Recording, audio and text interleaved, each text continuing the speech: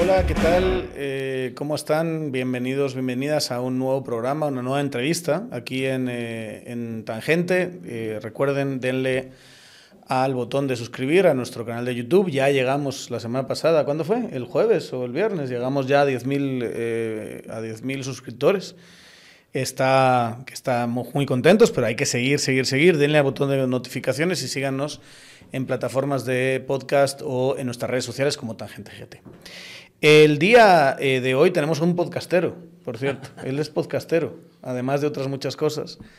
Eh, yo tuvo a bien invitarme a mí eh, la semana pasada a su podcast y en pago, digamos, porque fue un intercambio de podcasteros, está aquí Roberto Alejos, expresidente de Congreso y actual podcastero eh, con nosotros. ¿Qué tal? ¿Cómo, cómo estamos? Pues aquí, probando, ¿ah? probando este tema, nuevo podcastero.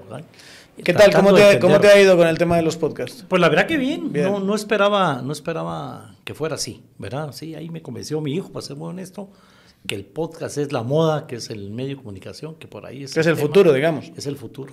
¿Verdad? Entonces no me he ido, no me Que es presente en, muchos, en muchos países. Ya, ya es, el podcast es el formato fundamental de análisis político, de análisis social o de, o de cualquier tipo de conversación, porque hay de todo. Y aquí estamos llegando un poquito tarde, pero aquí estamos, ¿verdad? Intentando pues salía, salía al aire entrevistando candidatos o candidatas a la, a la, a la presidencia, una candidata a la, alcaldía, en fin, ahí todavía con el set sin terminar, la pared en blanco, ahí fuimos saliendo, ahora ya un poco formalín, ¿verdad? Mira, eh, estaba viendo un poquito tu biografía. Sí. ¿Qué hace un y me vas a perdonar la expresión que me gusta mucho. Yo sé que algunos lo utilizan de una forma distinta en Guatemala, pero a mí me pasa mucho que me gustan palabras, pero a veces tienen connotaciones eh, distintas, pero a mí me encantan. ¿Qué hace un muchachito, muchachito culi cagado de 22 años en la constituyente? ¿Me quieres explicar cómo con 20... Yo me acuerdo cuando tenía 22 años y no sabía absolutamente nada en la vida, mucho menos meterme en una constituyente. ¿Cómo acabas en el 82, si no estoy mal? Sí, en el 83 fue 70. 83, tenías 23 años, porque tú naces en el 60. cumplir ahí, sí. ¿Cómo acabas ahí con 23 años? Explícamelo. Bueno, primero, eh, se da el golpe de Estado, no vamos a ir tan lejos, porque sobre todo la gente de los podcasts no había ni nacido probablemente. Bueno, pero para que aprendan. Fíjate que muchos jóvenes nos están escribiendo diciendo, mira, estoy aprendiendo cosas de la historia de Guatemala, sobre todo con esta serie de entrevistas que ya sabes que tuvimos a, Taracena, sí, pues, tu antiguo simpático. Eh, aliado, ¿no? Colaborador en su momento, ahí nos puedes contar. Estuvimos a Portillo y ahora te estamos haciendo a ti. Como una forma, de alguna manera, de... De hacer historia con los boomers. Sí, sí, sí, sí. Así es. Sí, sí. Así es. Ahí empecé mi primer podcast que no funcionó, que se llamaba Los Boomers. Con Richard Shaw, otro constituyente de, de 23 años. ¿Qué fue lo que pasó? Eh, le dan golpe de Estado al general Lucas para que no tome posesión el general Guevara. Los mismos militares reconocen que se habían manejando los fraudes electorales. Toman la decisión ellos de que no les conviene estar en pleno conflicto armado, en pleno conflicto interno aquí, con todo ese problema, y al mismo tiempo administrar un país, un país que iba a entrar en crisis porque mantener la moneda al uno por uno, eh, ya muy condenados por los derechos humanos, muy castigados en muchos temas, y entonces yo creo que una forma inteligente, militares jóvenes dan el golpe de Estado, eh, respetan la jerarquía, la institucionalidad, ponen a dos coroneles y a Efraín Ríos Montt como triunvirato, porque había sido un buen director de la escuela politécnica, él ya estaba retirado, ya, ya, ya estaba de director de un colegio, y eh, la primera regla fue disolver los partidos políticos, que éramos culpables, los partidos que eran culpables de donde estábamos. Entonces, Éramos es porque tú estabas en un partido político. Digamos que no estaba todavía, mi familia pertenecía a ese partido. Tu padre viene de, o sea, es un político. Vamos mi, a mi, así. mi, papá, digamos que también es un poco como yo, que he hecho, hizo de todo en la vida, precisamente hoy está cumpliendo cuatro años de haber fallecido, exactamente el día de hoy. Este eh, pues mi papá fue un gran deportista, eso lo hace muy famoso. Eh, ¿Qué, ¿qué deporte? No, tenía ni idea de esto. Eh, hacía todo tipo de deporte, pero se vuelve jugador de fútbol. Mi papá a los 16 años fue en la Liga Mayor, en el Xelajú Mario Camposeco, entonces era muy famoso en la época en que el Xelajú se gana la primera luna, como dicen eh, los de Shela. Eso lo hace que al graduarse... ¿Tu padre era de Shela? Mi papá es de Retauleu. En aquella época todos o todas los que estaban en Retauleu mandaban a estudiar a Quesaltenango. Era la gran ciudad. Internos, ¿verdad? Ahí conoce a mi mamá que desde Jutiapa también se va interna a Quesaltenango. Algo que es impresionante y que hay que, hay que hablar de eso, ¿verdad? A dos institutos públicos, un instituto que todavía existen, el INBO y el INSO, el Instituto de Varones de Occidente y el Instituto Señoritas de Occidente, institutos del Estado públicos con internado. Imagínate ahora eh, eh, cómo funcionaría eso, sería terrible. A 160 internos, 150 internos en Quesaltenango. Así se conoce, mi mamá se enamora del futbolista famoso, ¿verdad? De aquel entonces, un noviazgo muy largo.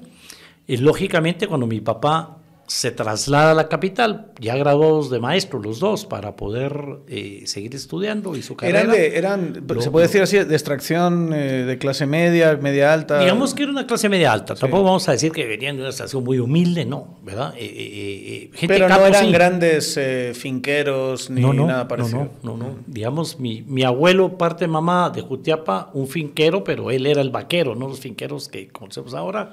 Mi abuelo, parte papá, empezó vendiendo jabón y, o sea, sí, realmente le costó llegar a, convertirse después en el finquero que fue, sobre todo en la época del algodón, donde la gente de Retablo triunfó mucho en, esa época. Pero, digamos, eran una clase media, media, media, ni siquiera media alta, media, media. Y no, no, no vamos a, a quejar de pobrezas ni nada por el estilo, pero tampoco no, no, no, no había esas comodidades. Se van a los institutos públicos se enamoran y mi papá al venir a, la capital juega para el Comunicaciones, él es orgullosamente crema, después entra en un lío porque la San Carlos sube a la mayor y entonces le exigen que se salgan los cremas para jugar en la universidad, en fin, soy hijo de un futbolista para empezar. Pero, ¿Le algo del toque, o no? No, para nada. nada. Lo poca, mi poca historia en el fútbol es una nariz quebrada cuando llegué a Estados Unidos, donde me obligaron a jugar fútbol, no podía ser latino y no jugar. y, entonces lo más fácil era. Que dirían ellos. Soccer eran aquel entonces. Eran mixtos. No, entonces y ahora lo siguen llamando soccer, los, muy, llamando soccer, los sacrílegos. Ajá, lo sé. Y, al, y aquí, siendo presidente del Congreso, hay un juego entre políticos y empresarios, otra vez juego portero y me quiebro me voy la rótula, la tibia fin, fui presidente del Congreso en silla de ruedas, en buletas. O sea que mi paso por el fútbol no ha sido muy exitoso, que se diga, ¿verdad? ¿Tu padre, después de haber sido futbolista, que hace carrera como futbolista? Hace, no, se porque, digamos, entre mi mamá, mi abuelo y toda la familia lo obligan a dejar el fútbol para no hacer carrera ahí, ¿verdad? Eh, eh, estudia Derecho, se convierte en abogado, pero en el camino, pues su relación con Manuel Colón Argueta, una relación muy íntima, pues lo hace revolucionario. De por sí mi familia, mis tíos habían sido diputados, alcaldes, gobernadores del Partido Revolucionario. Y entonces... Tus tíos de parte a lejos. De parte a lejos. De parte a lejos, sí, porque increíblemente de parte Cámara son del MLN, todo lo contrario. Esa es una historia simpática, ¿verdad? La cosa es que ellos ya pertenecían al Partido Revolucionario, ya habían sido por lo menos gobernadores, diputados, todos de ese mismo partido. Y eh, la primera experiencia de mi papá es ser candidato a diputado en Retauleu en ese famoso Frente Nacional de Oposición que encabezaba pues Manuel Colón Argueta, Vinicio Cerezo, Fuentes Mor, eh, y Ríos Montt fue el candidato a la presidencia. Es que es la que le roban. A la que le roban las elecciones. Al, a Ríos Montt. A, Ríos Montt. Que, le, hacen un fraude descarado. ¿verdad? Bueno, en aquel entonces, en una aldea de 500 habitantes, salían 900 votos, ¿verdad? Por supuesto, los otros 400 eran para el partido oficial. En esa época era la alianza de aquel entonces era MLN-PID, que era el MLN, la Internacional Anticomunista, y el PID, que era el partido prácticamente de los militares, de Donaldo Álvarez Ruiz, el eterno ministro de Gobernación. Alianza que se deshace, ¿verdad? Que se deshace. Después se hace la alianza PID-PR. Los militares, antes del golpe de Estado, tratan de convertirse un poco más hacia el socialismo, hacen alianza con el Partido Revolucionario, llevan a Villagrán Kramer, un socialista profundo de vicepresidente de la República. Ahí se suman eh, diputados que pertenecían a este equipo de Manuel Colón Argueta, de Villagrán Kramer, que ya había que escoger entre te ibas a la democracia cristiana, te ibas al Partido Revolucionario. Mi papá se va al Partido Revolucionario y ahí entonces ya queda mi papá diputado por Retauleu. Eh, perteneciendo a este grupo. Este grupo que dura poco, porque, porque Villagrán claramente dura muy poco en la vicepresidencia, porque era imposible entender el papel de los militares en, un conflicto armado. Las violaciones a los derechos humanos eran algo impresionante condenados mundialmente por ese tema. Y entonces se rompe, se rompe prácticamente eh, la alianza. Ya entonces ahí, desde ahí mi papá ya es de una bancada independiente, la bancada azul y blanco, o sea que eso no es nuevo, ya lo heredé sin conocerlo, ¿verdad? Y, entonces ya pertenezco, eh, pues yo no pertenezco al partido desde entonces porque en esa época de verdad mataban a la gente, ¿verdad? Ahí está la historia de Manuel Colón Argueta por querer hacer su partido, la historia de Fuentes Mor. Que son como las, digamos, esos asesinatos, no sé si estás de acuerdo conmigo, siempre es a los moderados y siempre es a los mejores moderados. No siempre, estoy, estoy exagerando, pero digamos, esos concretamente son a moderados porque son viables, además. A esos hay que matarlos. Sí, porque digamos que el radical y el radical se necesitan el uno al otro. Pero el moderado viable y, sobre todo en el caso de estos dos en concreto. no, y Manuel Argueta es, Manuel el mejor político de, la, del Bueno, hasta, la, fecha, con mucho respeto para la gente socialdemócrata de Brasil, no, no han encontrado entre Fuentes Mor y Manuel Colón en específico eh, eh, un liderazgo tan fuerte, tan grande, tan excepcional como el de Manuel, ¿verdad? Entonces crecí con esa sombra, ¿verdad? Eh, sombra buena, ¿verdad? Y tu padre Pero me, voy, me sacan del país. Pero es una cosa, ¿tu padre fue diputado cuántos años? ¿Esos cuatro? Esos, solo esos solo cuatro. Solo esos cuatro y luego él se retira. Eh, ¿en, qué, momento pasa a ser finquero? Como, se, mi papá no es finquero. Y o sea, ajá, y hay que, mi ah, papá... entonces a lo mejor estoy mezclando, pero hay unas fincas ahí eh, eh, de tu familia o no? De mi hermano. De tu hermano. De mi hermano. ¿Qué vamos a hablar de tu hermano? Vamos a hablar, por Madre mía, lo que hay que hablar de tu hermano.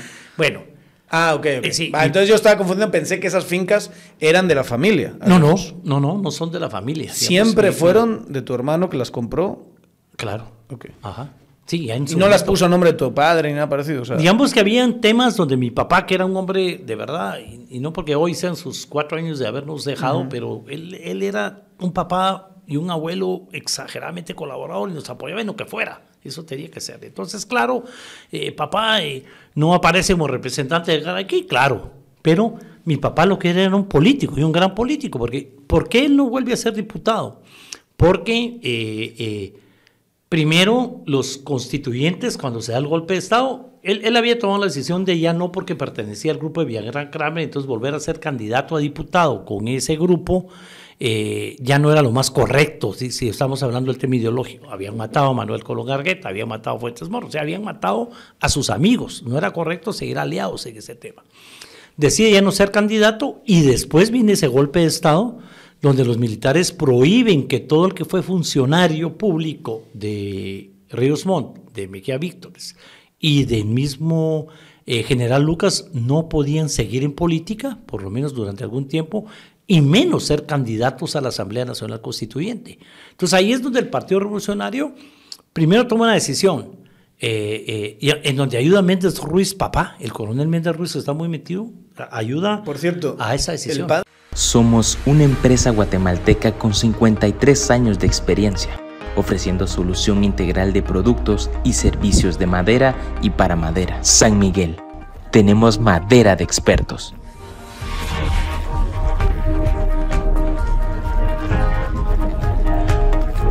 Padre no era un radical como el hijo, ¿verdad? Digamos que el padre estaba más preocupado de lo que se estaba desgastando el ejército por estar haciendo política.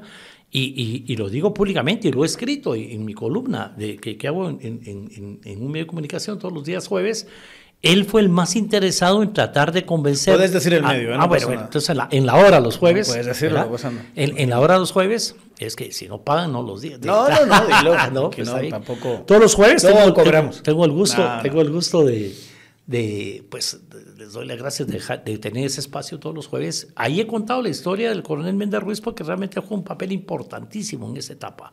¿verdad? Siendo él un militar de carrera fuerte, duro, agresivo en el tema del conflicto armado, cuando le toca trabajar en el retorno a la democracia, él es un hombre que trabaja muchísimo para que los socialistas que estaban en el exilio regresen. Entonces, parte de cómo los partidos viejos, cómplices de lo que había pasado con los militares, se podían quedar, era, eran dos condiciones, tres condiciones. Uno, los comités ejecutivos no podían estar integrados por nadie que hubiera estado en esos tres gobiernos. Dos, ninguno que hubiera estado en esos tres gobiernos podía ser candidato a la constituyente. Y tres, habría que abrir las puertas a gente nueva. El Partido Revolucionario le abre la puerta a los socialistas en el exilio, se hace una reunión en Costa Rica, a la que asiste. Méndez Ruiz, Víctor Hugo Godoy, por ejemplo, que ahí está todavía constituyente, gente de ese entonces va a Costa Rica y no los convencen de participar, les da miedo no hay confianza en que de verdad es un retorno a la democracia, en que se va a acabar eh, la matadera de líderes políticos y entonces no los convencen de regresar.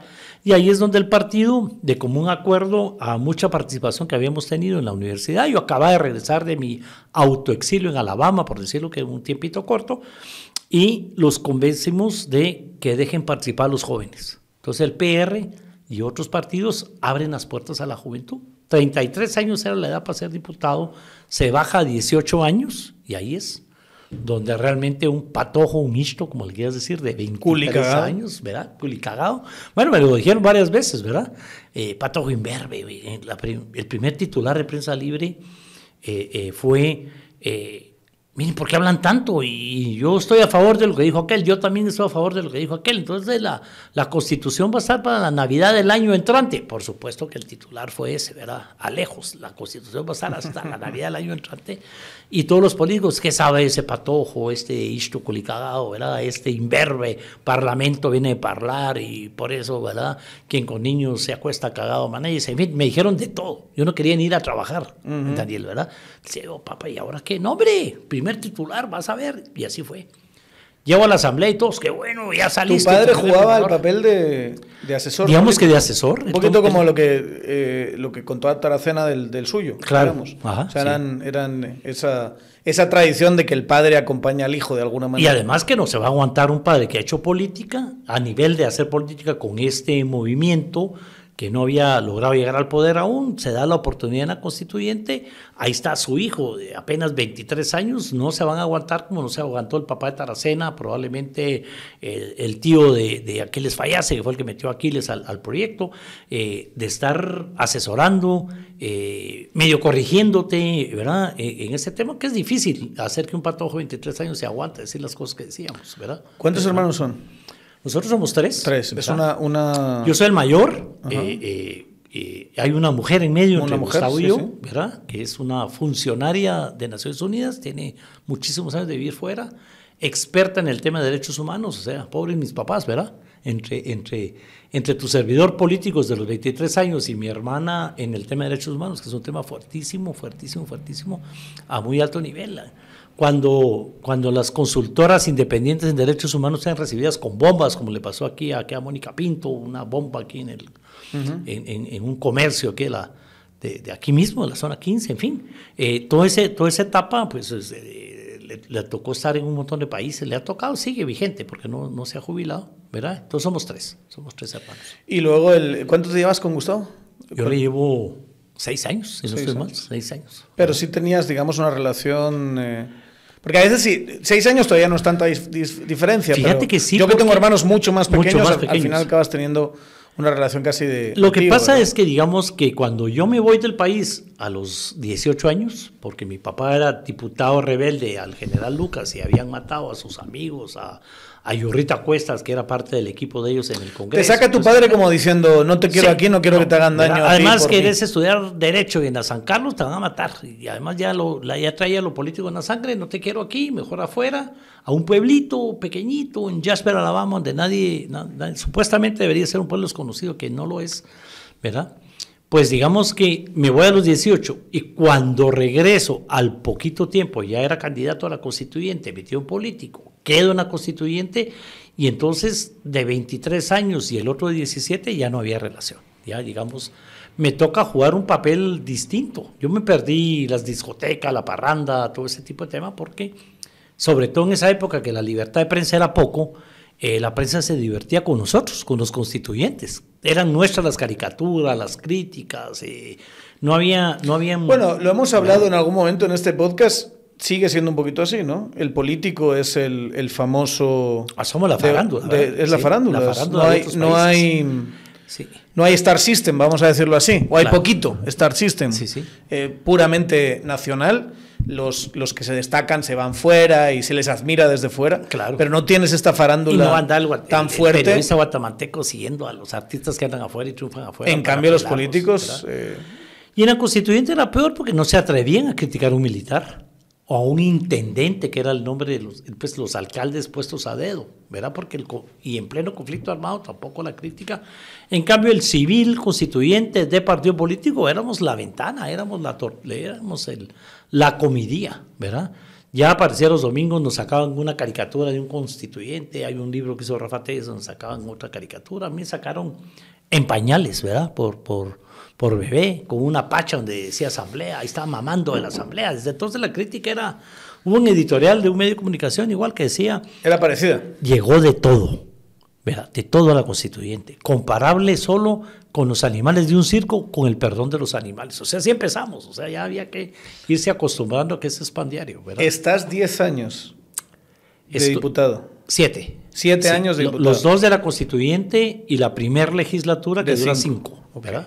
Y, y, digamos, ¿cómo recuerdas esa época? Era una época complicada también. Era exageradamente complicada. Primero en la constituyente vivíamos con el temor de que los militares decidieran disolver la constituyente. Sí, porque por lo que decías, los militares lo habían permitido en una coyuntura política determinada. Pero tomamos decisiones muy fuertes. Por ejemplo, otro de mis titulares de prensa fue no a las patrullas de autodefensa civil, al reclutamiento forzoso.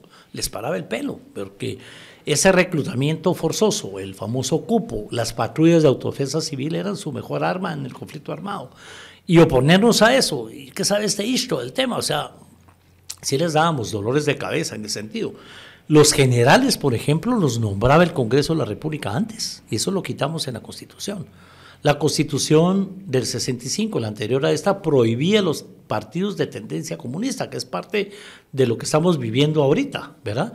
Y, ¿Por qué eh, dices que es parte de lo que estamos viviendo? 3, 2, 1, ya. Solo una pequeña pausa a la entrevista con Roberto Alejos para hablarles de nuestro patrocinador, Party Smart. Eh, muchos de ustedes seguro que les gusta tomarse una, un par de copitas de vino de vez en cuando, una cervecita, pero ya con la edad, los que ya estamos... Eh, viejones, nos va pesando cada vez más eso. Entonces, para proteger nuestro hígado, para poder procesar mejor el alcohol, eh, para eh, que al día siguiente no tengamos las incomodidades de haber eh, bebido un par de cositas de más o, a lo mejor ni siquiera de más, ya empiezas a tener incomodidades aunque te tomes solo un par de cervezas o una cerveza. Party Smart. Lo tomas media hora antes, al mismo tiempo que empiezas a beber eh, y eh, al día siguiente vas a estar eh, nítido.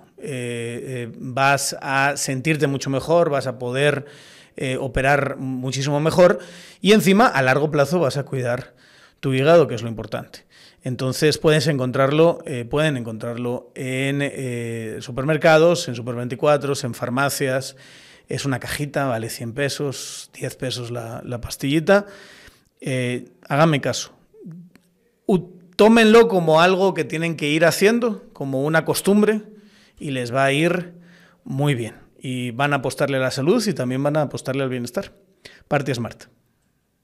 Porque esa constitución, esa ley electoral permitía, de hecho no solo permitía, obligaba que cuando metías tu inscripción a un partido político, el Ministerio Público te investigaba legalmente. Se pedía la investigación de ese partido político. O sea, tenía que estar como certificado. Ah, y si el, Ministerio Público decía, esto es de tendencias comunistas, marxistas o lo que sea, ya no te autorizaba. lo que estás diciendo es que el Ministerio Público está retomando esa ese labor papel de, de limpiar a los partidos, lo cual los constituyentes, y ahí está el diario de sesiones, donde Alejandro Maldonado Aguirre, que fue constituyente, presidente varias veces de la Corte Constitucional, presidente de la República, nuestro gran maestro, pues presidente de la Comisión de Amparo y Habeas Corpus eh, Inconstitucionalidad, donde estuve yo ahí por suerte, ¿verdad? Él mismo dice, tenemos que despenalizar el trámite de los partidos políticos. No puede ser que a través de un proceso penal, de una demanda, de una denuncia, se pare la inscripción y la participación de un partido. Y así es como nace esta prohibición a que el Ministerio Público se meta. De hecho, eso es, y, alguien en Twitter estaba sacando el otro día, no me acuerdo quién, un extracto de la discusión sí. que se dio en ese momento. Y la discusión era precisamente eso era no podemos dejar que el Ministerio Público esté metido en temas de partidos. Si la Constitución de verdad va a cambiar las cosas en este país, que las cambió, verán, empecemos por eso. Eh, distritos electorales grandes para que, pues, ¿verdad? Método para el conteo de votos, porque queremos que haya las minorías están representadas en el Congreso. Por pequeñito que sea el partido, va a meter a más de alguien en un distrito Bueno, electoral. depende de quién, pero sí, es- Claro. factible, vamos a decirlo. Sí. Y, y, bueno, depende si es partido. Porque lo que hay son imitaciones de partido y eso es Sí, lo que hace que son no simulaciones. ¿verdad? Bueno, ese era un tema. Distritos grandes, el método Hunt para el tema. Tres era, hay que motivar la participación, que sea fácil inscribir un partido político, pero sobre todo que no se pueda parar el trámite de inscripción de un partido político. Eh, antes de la ley electoral nuestra, inclusive había cola. ¿verdad? Hace poco estábamos discutiendo con, con la gente eh, de Juan Edmond Mulet, por ejemplo, que, que, que querían hacer un partido nuevo, precisamente con Alejandro Maldonado Aguirre, la gente que venía del MLN, ¿verdad? Y tenían que hacer cola, porque hasta que el partido que estaba en trámite fuera aprobado, entonces miraban. Solo había un cupo de, Sí. de trámite. Solo había un trámite y hasta que termine ese trámite viene el otro. Entonces todo eso era lo que había que bloquear, ese sistema eh, dictatorial, ¿verdad? Es curioso Sí. porque, digamos, politólogos de mi generación, Ajá. la conclusión que han llegado es que es muy difícil hacer partidos, es muy costoso. Con eso de las 24.000 firmas, el hecho de tener que tener presencia en 12 departamentos, 50 municipios, eh, como que favorece redes clientelares preexistentes y que hay que bajar los estándares aún más para hacer partidos. Claro. Tú me estás diciendo que en realidad la, la reforma fue en la dirección de hacerlo más fácil. De hacerlo más fácil, ¿verdad? De hacerlo más fácil. Digamos, el número de afiliados se ha ido subiendo poco a poco, nosotros lo habíamos dejado más bajo, eh, pero sí la intención era hacerlo fácil comparado con lo que había antes, Claro. ¿verdad? Porque A lo mejor hay que hacer lo mismo ahora, ¿Verdad? hacerlo aún más fácil comparado con, lo- con lo con, que con hay lo que antes. está ahorita, ¿verdad? Si lo que queremos es promover la participación, ¿qué es lo que queríamos los constituyentes? Que participe cualquiera, que cualquiera partido, y al que le va mal, le va mal, y ahí está, ¿a cuántos les fue mal ahorita? Entonces, ¿tú crees que lo que está pasando ahora es una perversión de esa discusión que se tuvo en su momento? Y el, el hecho de que, el hecho de que el MP esté intentando bajarse, que es lo que está intentando hacer, Claro. digan lo que digan eh, ciertos actores que o bien son colaboradores del golpe o bien están intentando mirar a otro lado. Lo, la intención desde el 12 de julio fue bajarse a semilla y de hecho de, de primera a segunda vuelta. Y ahora hay una intención real de que a partir de noviembre se baje a semilla y no puedan o no puedan asumir que es lo que quieren los golpistas o asuman sin partido, lo cual sería le llamen como le llamen, digamos que, que, que, bueno, eh, ahora que soy podcastero, digamos, un podcast mío se llama ¿Va a asumir Bernardo o va a haber golpe de Estado? Espero que no.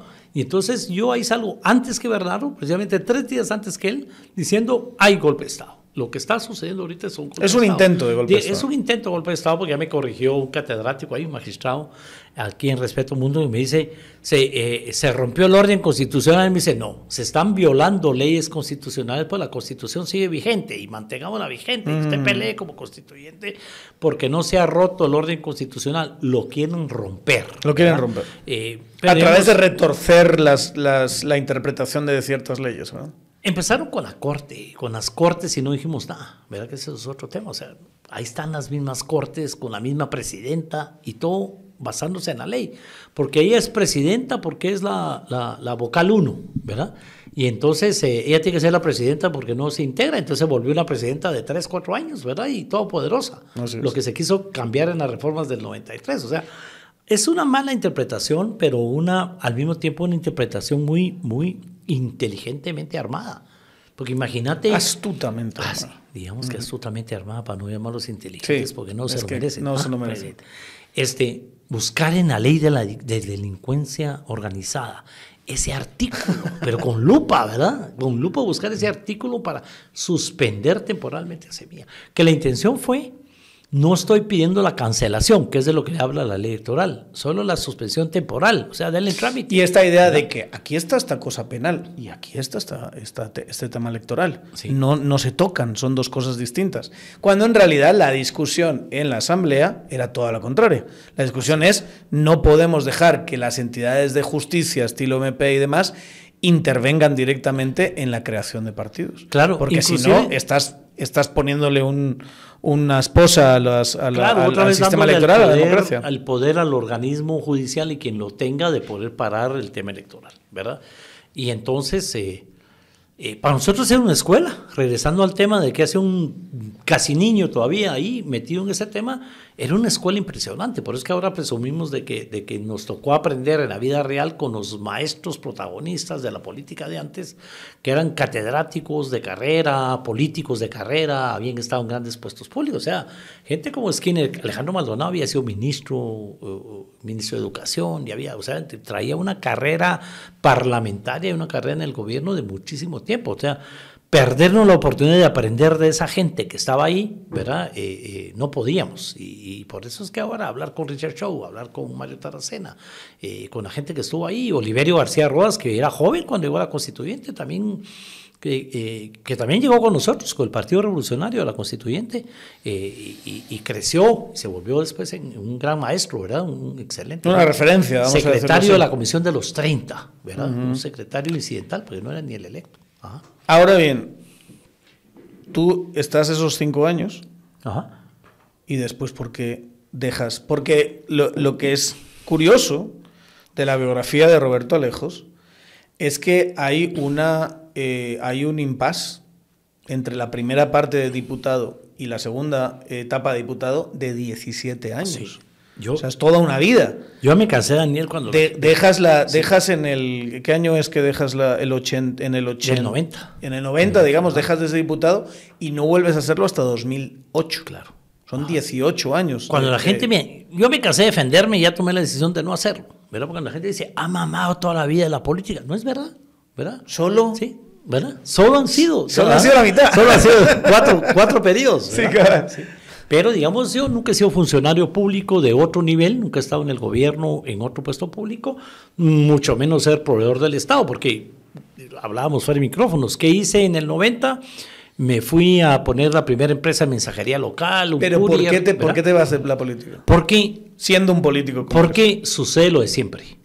La prohibición de que la vieja guardia, le llamamos a, la gente eh, del Partido Revolucionario, que tenía prohibición de, participar, regresan a tratar de quitarnos el partido de los jóvenes.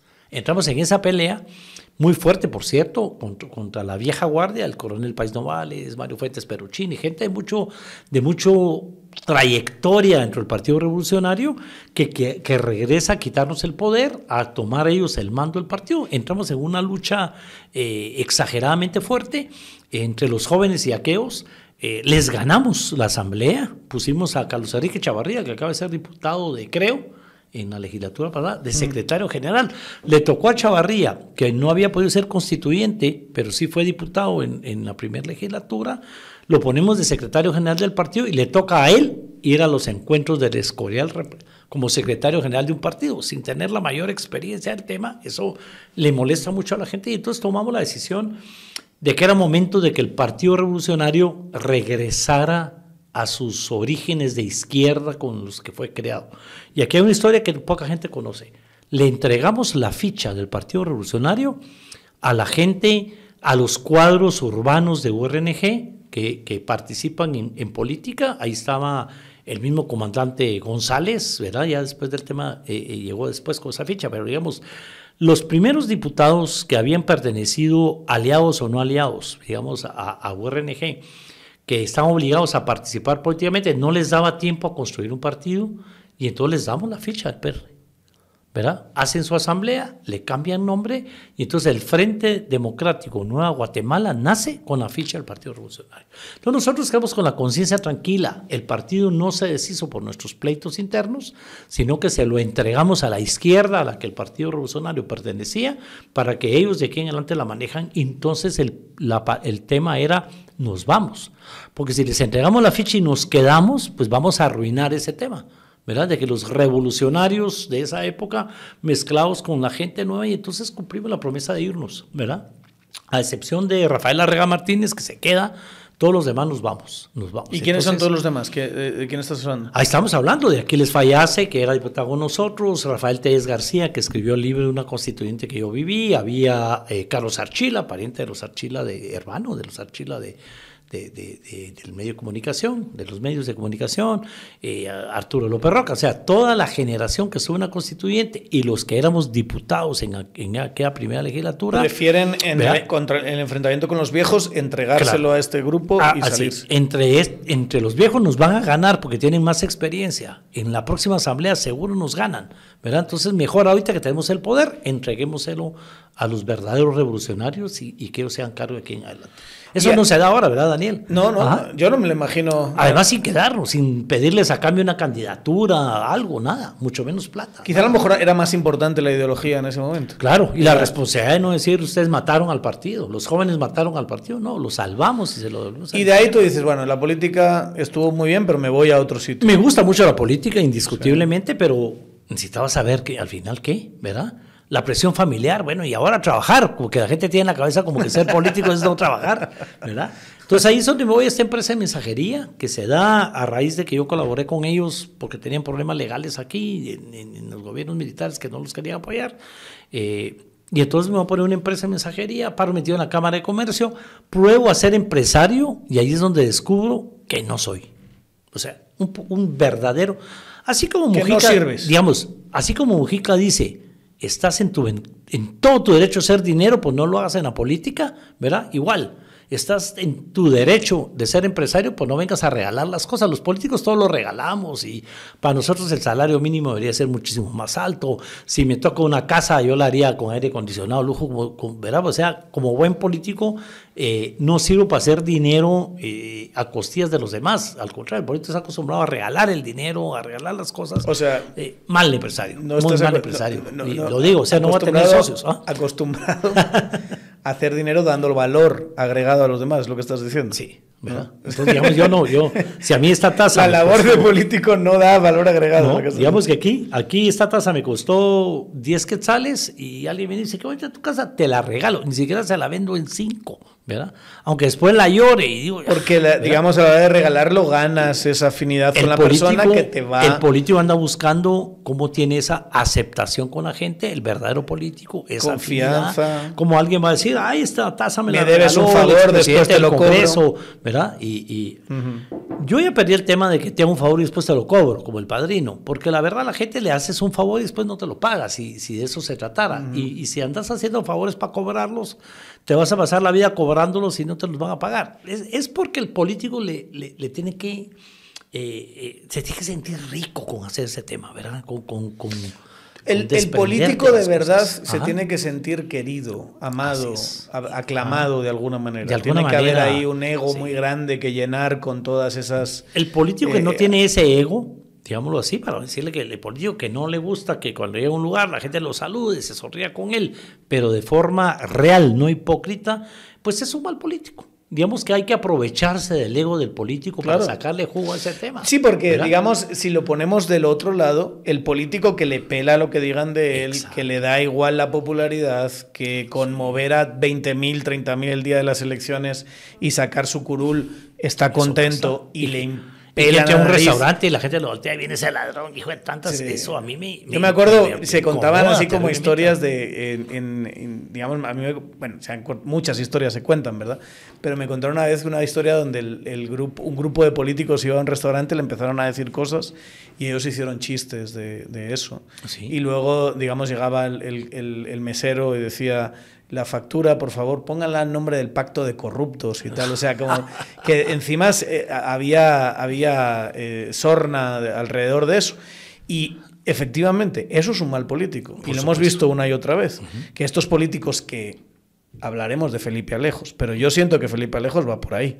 Un político que le pela la nariz si lo odia el 99.99% de la población con que engañe a unos cuantos porque está metido en el listado número uno de un partido eh, que jala algún, algunos votos y él entra, con eso le vale y le pega la nariz. Y ahí son nosotros todo lo demás. No son políticos, son cualquier cosa aprovechándose del cargo político por culpa de los que lo metimos en el caso, en el caso de Felipe, que vamos a hablar. Vamos a hablar de eso. Eh, eh, aprovechándose del tema, pero no para convertirse en, digamos que, que en, personas queridas por la población, estimadas por lo que hicieron, no con el fin de dejar un recuerdo. Yo vivo trabado con cuál va a ser tu legado, ¿verdad?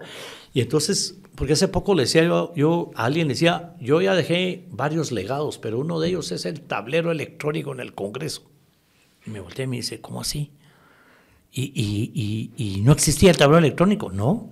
Cuando yo llegué presidente del Congreso se votaba levantando la mano. Yo me acuerdo. Y era una manipulación de los votos. Era 2009, 2010 que Claro. esto pasó. Sí. Me acuerdo perfectamente de esa, de esa discusión. Y yo llevaba un año y medio, dos años en el país y me parecía espectacular. Que la discusión fuese y el, y el esfuerzo de poner un puñetero tablero fuese tan fuese, fuese un tema de discusión. Es o sea, más, es el- así el, como... el tablero lo había comprado alguien más, o sea, encima de todo no me iban a acusar de corrupción por haberlo comprado, porque no lo había ni comprado yo, ¿verdad? O sea, el tablero tenía años de estar colocado ahí. desco- los tenían ¿verdad? desconectados. Y, y- y la ley orgánica no permitía votar electrónicamente.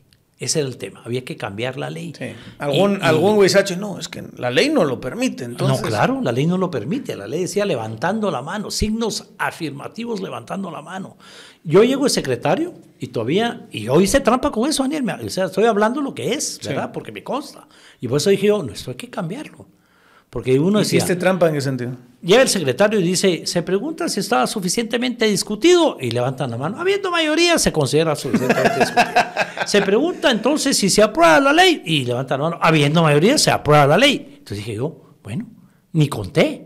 ¿verdad? Eh, eh, eh, y entonces alguien por ahí grita duda. A ver, por favor, como hay duda, que se pongan de pie los que votaron a favor. Eh, ratifico que hay mayoría, se aprueba. Eso no me lo van a hacer a mí, no, no, no me parece. Entonces, cuando llego presidente del Congreso, pues miren, además el tablero, por lo que realmente no querían que se aprobara, no solo para que veas quién votó, quién no votó, sino a qué horas entras. ¿Llegaste o no llegaste al pleno? Claro. ¿Verdad? Pues si un sal- hay un salario, parte de tus salarios por plenarias, ¿verdad? Que no se las descuenten a los diputados es otro tema. Yo sí se las descontaba, ¿verdad? Y, y- y- pero porque se mezclaban una serie de cosas. Aprobar la ley de libre acceso a la información, de verdad fue un arma divina de mi lado. Porque yo le decía, vengan temprano, muchachos, porque en la ley sale lo que marca el tablero, o sea, cómo votaste, quién votó, quién no votó, eh, a qué horas veniste, a qué horas te vas, si votaste o no votaste cómo votaste, ¿verdad? Eh, es un tema difícil porque el tablero es el que no vota, votó en contra, ¿verdad? Y, y- y el que se salió y no marcó que se salió, eh, le va a salir voto en contra, ¿verdad? Porque el que no vota es prácticamente el que votó en contra. Pero se oponían los diputados terriblemente. Y fue lindo, hicimos unos mimos, con- fue, fue- fueron unos patojos de, de la sociedad civil, la gente ahí, ahí estaba, eh, patojos que ahí están vivos, como, como Roberto Cruz y un montón de gente, disfrazados de mimos, entrevistando diputados. Usted es de los que no quiere que se sepa cómo vota. No, yo sí quiero. O sea que usted sí votaría por el tablero. Ya cuando teníamos suficientes, ya sesión de jefes de bloque, mucha. Ustedes declararon a todo el mundo. Yo ya no puedo detener eso.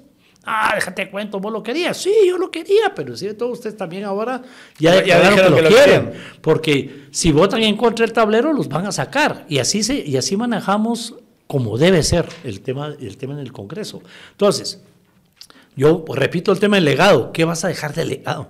¿Quién sabe que nosotros aprobamos la ley de libre acceso a la información que vino a cambiar el mundo aquí? Si no es por la ley de libre acceso a información, no te das cuenta de los salarios. De, eh, en el Congreso llegaban, vos, eh, eh, presidente, un mi viaje a Europa. Entonces le digo, ah, muy bien, ¿y dónde está la invitación? Porque en la ley de acceso a información tengo que publicar la invitación. Tengo que publicar el precio del pasaje, ¿verdad? Eh, la agenda que se va a discutir. ¿Cuánto te doy de viáticos? Tenés O sea, que subir un me informe. estás diciendo que antes de la ley, que es una ley al final relativamente reciente, Sí. sí había viajes que nadie tenía ni que reportar, se daban... Hasta viáticos, se toca tanto de viáticos y allá y se iban a dormir en la casa de un pariente y, y- y se quedaban con los viáticos, ¿verdad? y los viáticos. Y entonces hasta eso. Te estás facturas- adelantando un poquito a la, A la- a la- a la parte donde ya fuiste presidente del Congreso. Regresemos, cuando dejé el Congreso. Va, dejas el Congreso, eres un, empre- un empresario fracasado y después de ser empresario fracasado, ¿qué porque son 18 años, ¿qué haces Digamos, todos esos años que no eres empresario Fui- y no eres político? Fui un buen empresario, pero no me gustó. Ok. Voy a dejarlo, porque la Sí. empresa es exitosa, ahí está. Claro. Además, la primera empresa en mensajería, nosotros repartíamos los cheques de jubilados.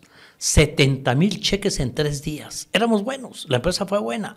Intenté eh, hasta vender helados, Daniel. Yo fui el representante de una empresa de, de- de- de, de helados de, en carretilla. Las últimas carretillas de ese país las manejé tu servidor. Más de 200 carretillas en la ciudad, qué dolor de cabeza. De verdad era un tema pelear, a pesar de que había hecho cooperativa con los heladeros, ¿verdad? No, no, no eran realmente mis empleados, pero también fue exitoso, pero, pero el tema de jugar con el dinero y a mí me costó 10 y lo voy a vender a 20, no es un tema que me agrada. Te seguía ¿verdad? picando me, la política. Me seguía picando la política y, y, y fue por el Club Rotario, al que yo me metí para hacer obra social. Yo, yo siendo diputado, apoyé a mi Club Rotario en una campaña de vacunación en Jutiapa, que yo era diputado por Jutiapa.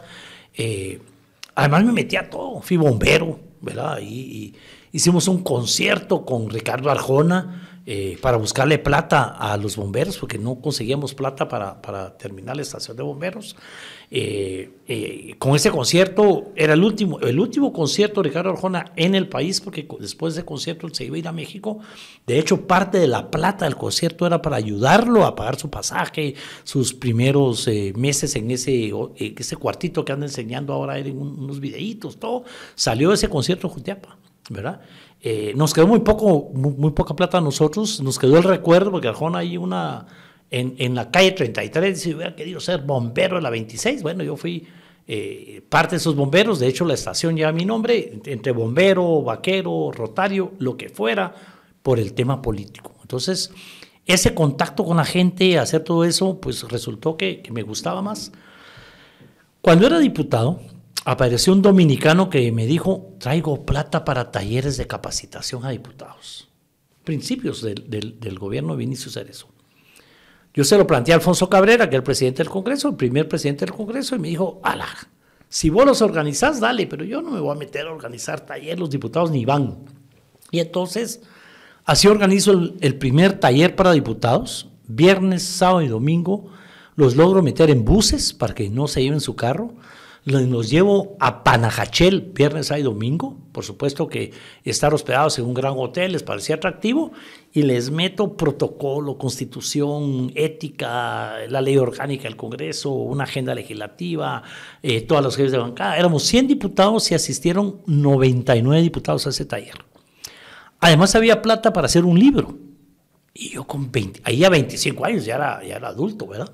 Uh -huh. eh, con 25 años me meto a hacer un libro que se llama El Manual Legislador Guatemalteco. Ahora me da risa cuando lo leo. ¿Qué experiencia tenía para meterme a hacer un manual? Pero hicimos ese manual, se lo dimos a todos los diputados y ya después, cuando dejo de ser diputado, empiezo a trabajar con los rotarios y después trabajo para la cooperación canadiense, el tema de bancos para bancos comunales se llaman. Eh, eh, eh, ahí todavía Fundesa me, me, me, nos da una beca para ir al INCAE a estudiar microcrédito, eh, ese, ese, ese, tema Bancasol y todos esos enormes bancos. De, Tristemente de, de actualidad ¿no? el INCAE, ¿verdad? Que acaban de... Ah, acabo de leer, precisamente. Ayer fue, precisamente, le cancelaron la, la, la sí la forma jurídica, la, la personalidad jurídica en, en, Nicaragua. Sí. Terrible. Y precisamente fue ahí, en Nicaragua, ¿verdad? En, en, en la montaña en Nicaragua que nos toca pues eh, disfrutar de esa beca de Fundesa para varios guatemaltecos y unas guatemaltecas para ir a estudiar microcrédito, ejemplos lindos de, de crédito en Bancasol y otras bancas muy Pero lo que me estás diciendo es que te metes ¿verdad? en todo este mundo de la capacitación, Entonces, formación, meto, política. Ahí como me social. metiendo en la capacitación de mujeres, empiezo, mm. ¿verdad? Las mujeres tienen que tener su cédula, ¿verdad? Y tienen que ir a votar, tienen que ser parte. Es, es, la lucha en ese entonces era para que se documentaran y votaran, y después para hacerlas independientes. También en esa época vienen los retornados después de, de, los acuerdos de paz y les daban plata, y, y era terrible porque la plata era solo para los hombres. Y entonces empezamos a organizar mujeres retornadas eh, y a organizarles sus grupos solidarios y darles plata para que se vuelvan empresarias, lo que ahora se llama emprendimiento, ¿verdad? Uh -huh. Microempresa. Y ahí están, en la finca La Lupita y un montón de temas que fueron las fincas que le entregaron a los excombatientes o a la gente que se fue a, a, a la frontera con México, ¿verdad? A esconder. Y entonces, digamos, ya metido en ese tema, es donde digo yo, bueno, ahora soy sociedad civil. ¿verdad? Y paramos metidos en esa organización apoyando eh, las reformas constitucionales para los acuerdos de paz. Pero ya entonces yo, ya el libro de cómo, de cómo el manual de, de, del, del, diputado guatemalteco, ¿verdad?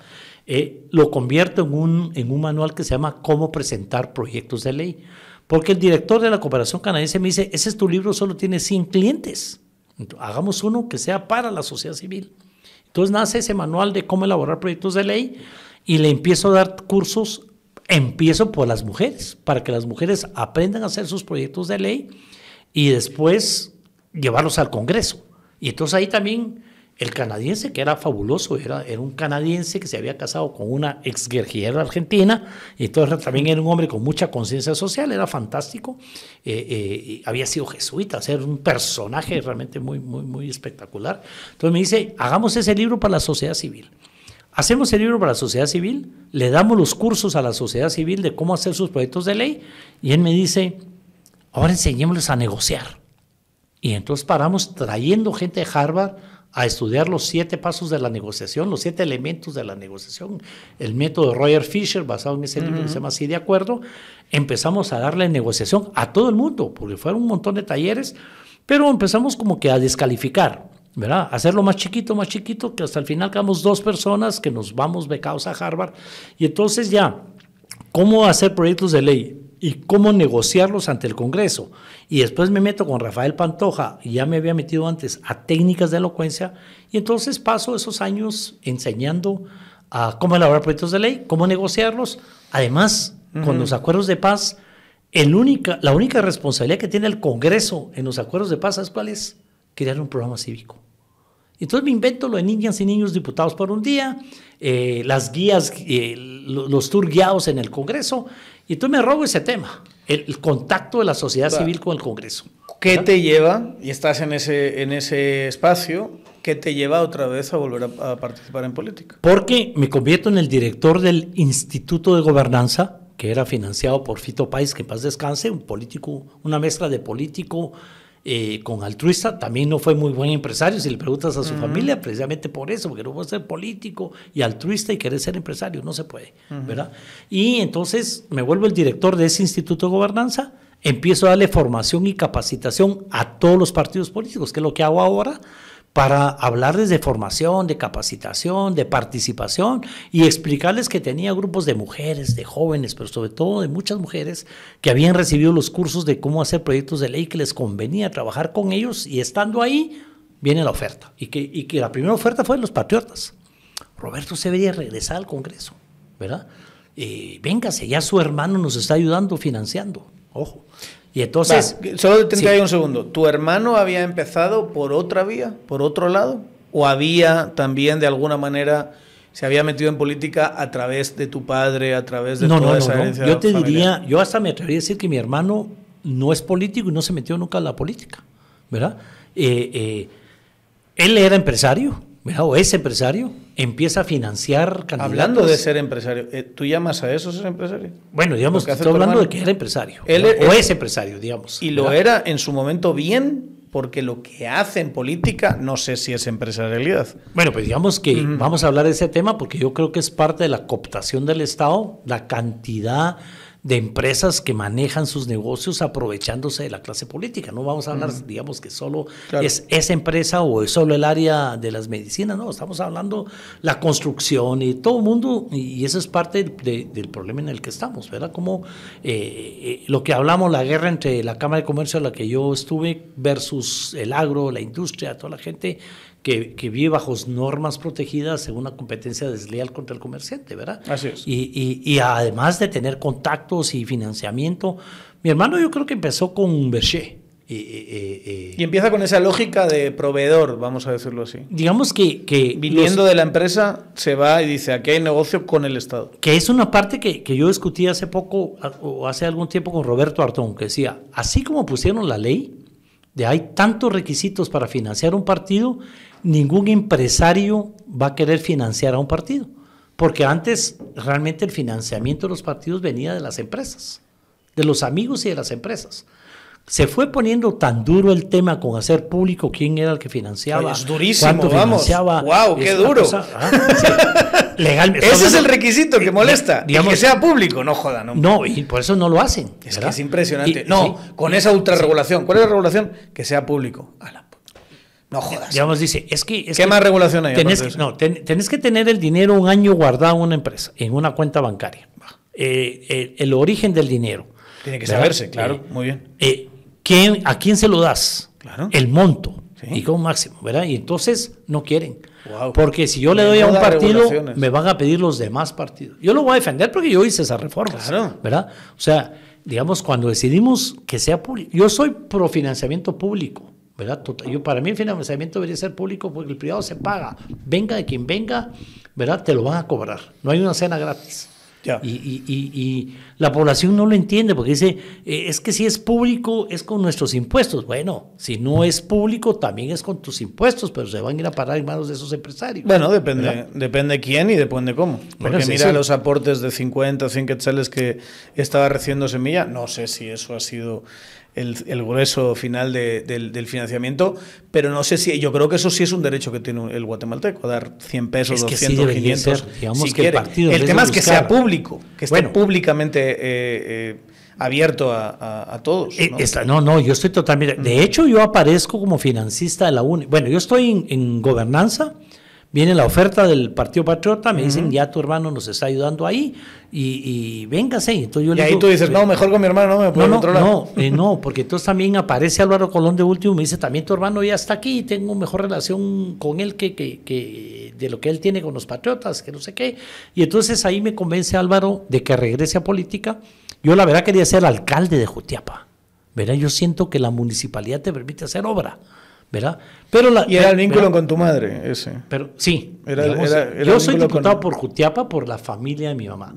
Nosotros, yo me he cuidado tanto, Daniel, no te decía tanto que yo decía, si soy candidato a diputado por Jutiapa, van a decir que lo heredé de todos los alejos que fueron diputados ahí.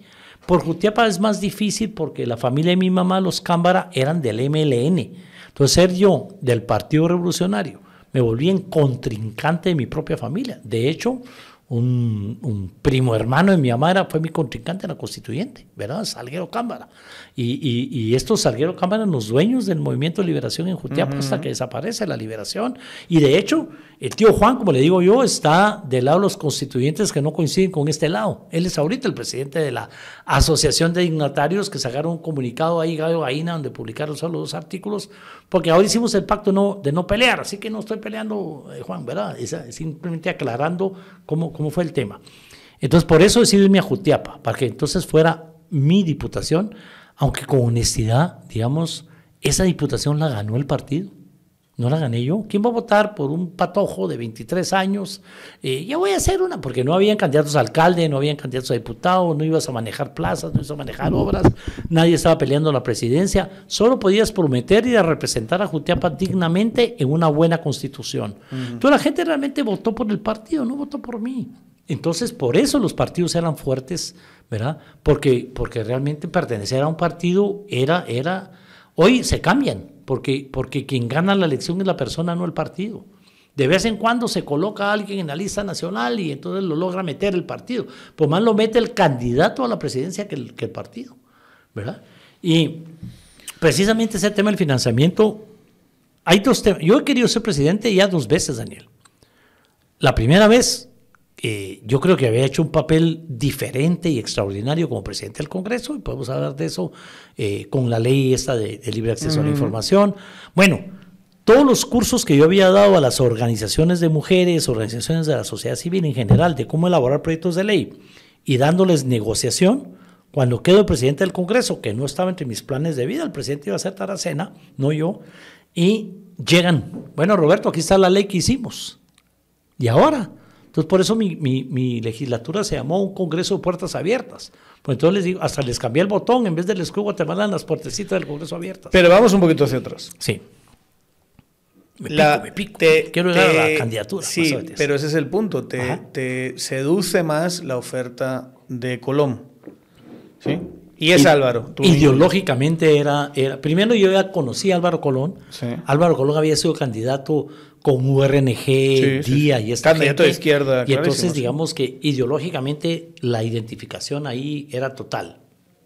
Jugar con militar, con todo respeto con Otto, eh, no me hacía clic para Sí. nada. No, no era mi atractivo. ¿Te sentías cómodo con el papel que estaba jugando tu hermano? ¿En qué momento te das cuenta ese papel de negociante, de contratos y de privilegios Es que tu hermano ha tenido? Es que en los digamos, años? digamos que cuando participamos en la campaña, el trabajo de mi hermano, de Luis Alejos, que después fue el, el ministro de Comunicaciones, y otro equipo eran el equipo de finanzas del partido buscar financistas. Sí, sí. ¿Verdad? Ese es el trabajo de ellos en el partido, que lo había en todos los partidos. El famoso audio con, Eh, con, en- eh, con Sandra Torres, ¿es eso o no? No, el audio con Sandra Torres es, es de la campaña ya de No, Sandra. no digo de esa campaña, pero es el, el papel, me refiero.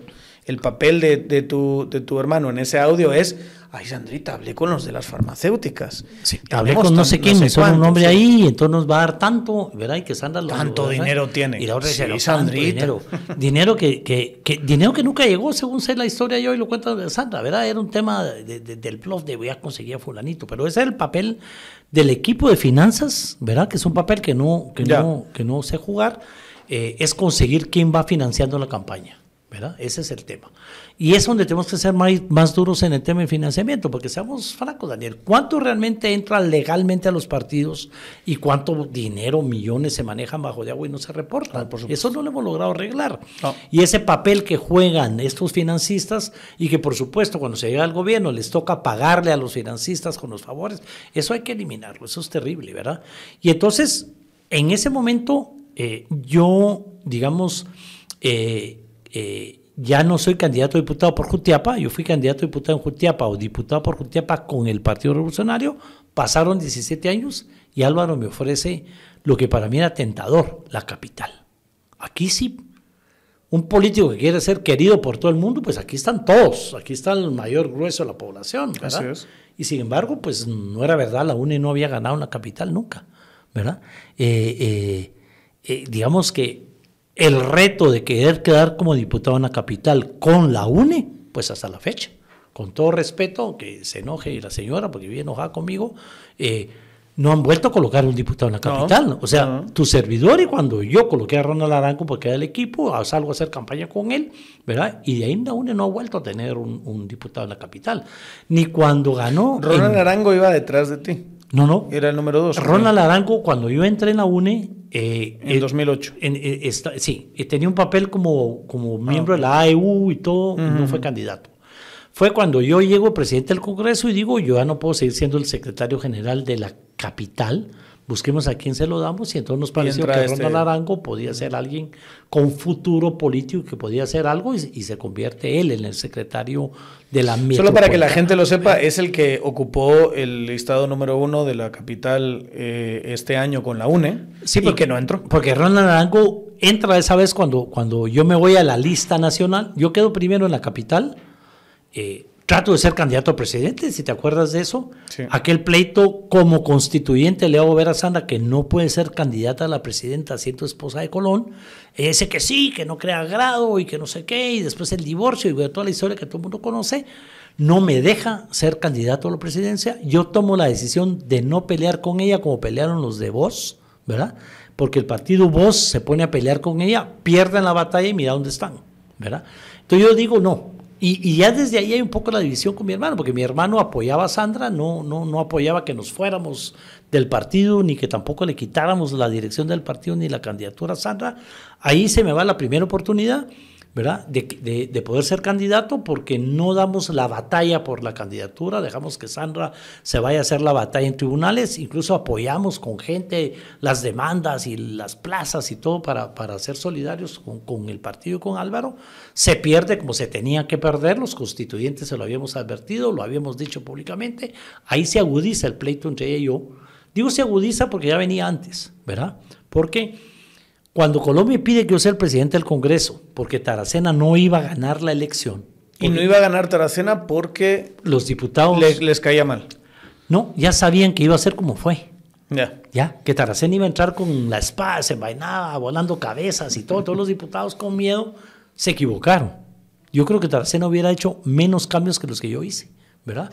Y menos duros. O sea, yo no sé, eh, de las 12 leyes de la CICIC, y- y estaba pidiendo, yo aprobé 10, ¿verdad? Y sin tener que decir que las instrucciones venían en inglés. Ahí, Eso me termina de distanciar de Pa- todos los diputados, no solo de mi hermano, porque sí, digamos, porque esa época Lo que pasa, eh, solo para que los jóvenes lo entiendan, la época de la CICIC, donde los litigios a, nivel, digamos, eh, eh, polémico y fuerte empiezan más adelante, empiezan en 2014, 2015 sobre todo, hay un par de casos de Dalanese que son polémicos, pero aparte del caso Rosenberg, los primeros años de la CICIC, que es 2008, 2009, 2010, lo que hay son cambios legislativos. Y ahí se aprueban el tema de la información que has dicho, el tema de las escuchas telefónicas, ¿verdad? El tema de cierto ciertos cambios para fortalecer el MP. Si no estoy mal, algunas otras... Eh, la ley de, eh, bueno, probamos el colaborador eficaz, colaborador eficaz, declarar a través de videos. Todos son, solo para que la gente lo entienda, son herramientas que después la CICIG va a utilizar y que hoy utiliza también el MP, pero que, que, que, fortalecen la capacidad de investigación. Ahorita que viene el ENADE, ¿verdad? Eh, fue en un ENADE donde ya siendo yo presidente del Congreso me suben a la tarima, ¿verdad? Eh, eh, está ahí dirigiendo el debate Pedro Trujillo y Helen Mack del otro lado. Y entonces pasa el director del ENADE y dice, es, bueno, el MP eran los abanderados del ENADE, Uribe era el, orador principal, el Seguridad y Justicia era el tema. Y entonces pasa el director de, de Fundesa, del ENADE, a leer y a exponer públicamente ante aquel hotel llenísimo, a exponer públicamente cuáles son las leyes que la CICIC necesita para hacer su trabajo. Y ahí, frente a esos miles de personas, me hace el reto, ¿verdad? Ese ya me lo hace Pedro Trujillo. Presidente, ¿va usted a apoyar esas leyes o se va a quedar del lado de la, impunidad, de la corrupción? Y entonces cuando yo digo, le entramos, ¿cómo me van a ayudar? Y, todo aquel hotel aplaude y ahí es donde eh, Helen Max se ofrece y dice, ¿qué opina doña Helen? Pues por lo menos ya abrió las puertas del Congreso y nos ha recibido, ¿verdad? Entrémosle, yo colaboro. Y ahí inicia esa lucha por aprobar esas leyes de las cuales se fueron aprobando. La CICIC tuvo tres etapas para hablarle a la gente joven. Castresana como primer comisionado que se dedicó a legislar, más caso Rosenberg, que es un caso Más el caso Rosenberg, que es lo que a él le cuesta, eh, después prácticamente le cuesta, le cuesta el puesto, tener la forma de haber aclarado el caso Rosenberg. Eh, eh, dos, Dalanese, que se dedica a fortalecer al Ministerio Público, o sea, ya tenemos las leyes, fortalezcamos ahora la institución. Resuelve algunos casos Dalanese, ¿verdad?, de, de, algún tema, pero su fortaleza es esta. Y cuando viene Iván Velázquez, ya es la época de la ejecución, ¿verdad? Pues ahora sí ya tenemos un ministerio público que está con nosotros. Ya no lo digas así porque da la sensación, puedes, puedes entenderlo con otras connotaciones. Llega la ejecución. La ejecución de la ley, pero sí, pero sí la implementación. se pone, ya viene la, la, implementación de todas esas leyes, más un ministerio público capacitado. Era Claudia Paz fuerte, ¿verdad? o sea, a partir de 2015 empieza a estallar el financiamiento al ministerio público y acaba siendo una, una relativamente hablando, una institución muy bien financiada. Pues Tiene hoy por hoy más financiamiento, o casi igual, eh, creo que un poquito más que el OJ. Y el OJ se encarga no solo de lo penal, sino que se encarga de muchas más cosas. Sí, sí, que esos son de los temas nuestros, de los constituyentes, cómo repartimos la plata, que es temas que hay que corregir de alguna manera. Pero digamos, fortalecimos el Ministerio Público desde Claudia Pazipá, bueno, desde, desde Velázquez Zárate como fiscal, que tenía como secretaria a Gloria Porras, que después llega a la CC, que quiso ser fiscal. eh, eh desde ahí empezamos a fortalecer el Ministerio Público. Claudia Paz y Paz, su única relación conmigo era más plata, presidente, necesito más presupuesto, presidente. Pero ojo, el primer informe de la CICIC de Castresana lo da desde el Congreso. Y Castresana deja muy claro el apoyo que él ha recibido del Congreso de la República en la aprobación de las leyes, dando su informe en el Salón de los Pagos Perdidos. Tú no dijiste. Trajimos al secretario general de Naciones Unidas y ahí en el Palacio, yo acabo de subir ese videíto donde le informamos, ¿verdad, señor secretario general? En el Congreso tenemos una oficina de la CICIC adentro para estudiar las leyes. Tenemos una oficina del Alto Comisionado de Derechos Humanos para que ninguna ley viole los derechos humanos. Estamos trabajando de la mano con Naciones Unidas. Entonces te das cuenta cuánta gente que odia los derechos humanos, que odia a la CICIC, pues me, me incluye por haber sido colaborador. Y el que no cambio de opinión cuando detienen a mi hermano y, se va a la investigación de todos los casos, ¿verdad? Eh, eh, pues el tema era traicionó a su hermano. No, yo me mantuve en lo que era y, me mantengo hasta la fecha. Yo voy a seguir eh, defendiendo a qué vino la CICIG y el papel que jugó y tenía que jugar. Que a última hora se, politizó el tema y se volvió lo que se volvió, eso es diferente y no vas a poder irte en contra de una institución porque no resultó al final, ¿verdad? Va. Te quiero hacer alguna pregunta sobre eso, pero antes, dices que no tuviste que decir que las instrucciones venían en inglés, pero venían en inglés. No, te voy a contar. No. no. como estamos en chismes, te voy a contar que yo lo hacía peor, ¿verdad? ¿Sí? Cuando dices peor, ¿qué? ¿Por qué? McFarland. Era la, época de McFarland, pura época de McFarland. Presidente, ¿cómo va nuestra ley y tal? ¿Verdad? Porque no era la embajada de Estados Unidos, sino era la comunidad internacional entera. Aquí embajador de Francia, que ahora es la, jefe de colaboración para Centroamérica, eh, la, embajadora de España, eh, eh, en fin. era un equipo, el embajador de México, que era formidable, era un equipo de embajadores y embajadoras, aquella embajadora joven de Inglaterra, que estuvo en el, juego de fútbol donde me quebraron una pierna, donde me quebré solo la pierna, era toda la comunidad internacional apoyando a la CICIC y apoyando al Congreso. Era un Congreso que como habíamos aprobado todas las leyes de las mujeres, todas las leyes de las organizaciones con las que trabajé, se convirtieron en leyes. Veamos, y EPAES tenía 11 años de estar peleando la ley de armas y municiones, la ley de empresas privadas de seguridad. Llegaron conmigo y bueno, les abrimos la puerta, les enseñamos a cabildear y se pasaron. Entonces había apoyo de la sociedad civil, había apoyo de la comunidad internacional y, entonces McFarland llamaba y decía, presidente, ¿cómo va la ley AKEA? Si usted se viene a tomar un café conmigo, mañana pasa.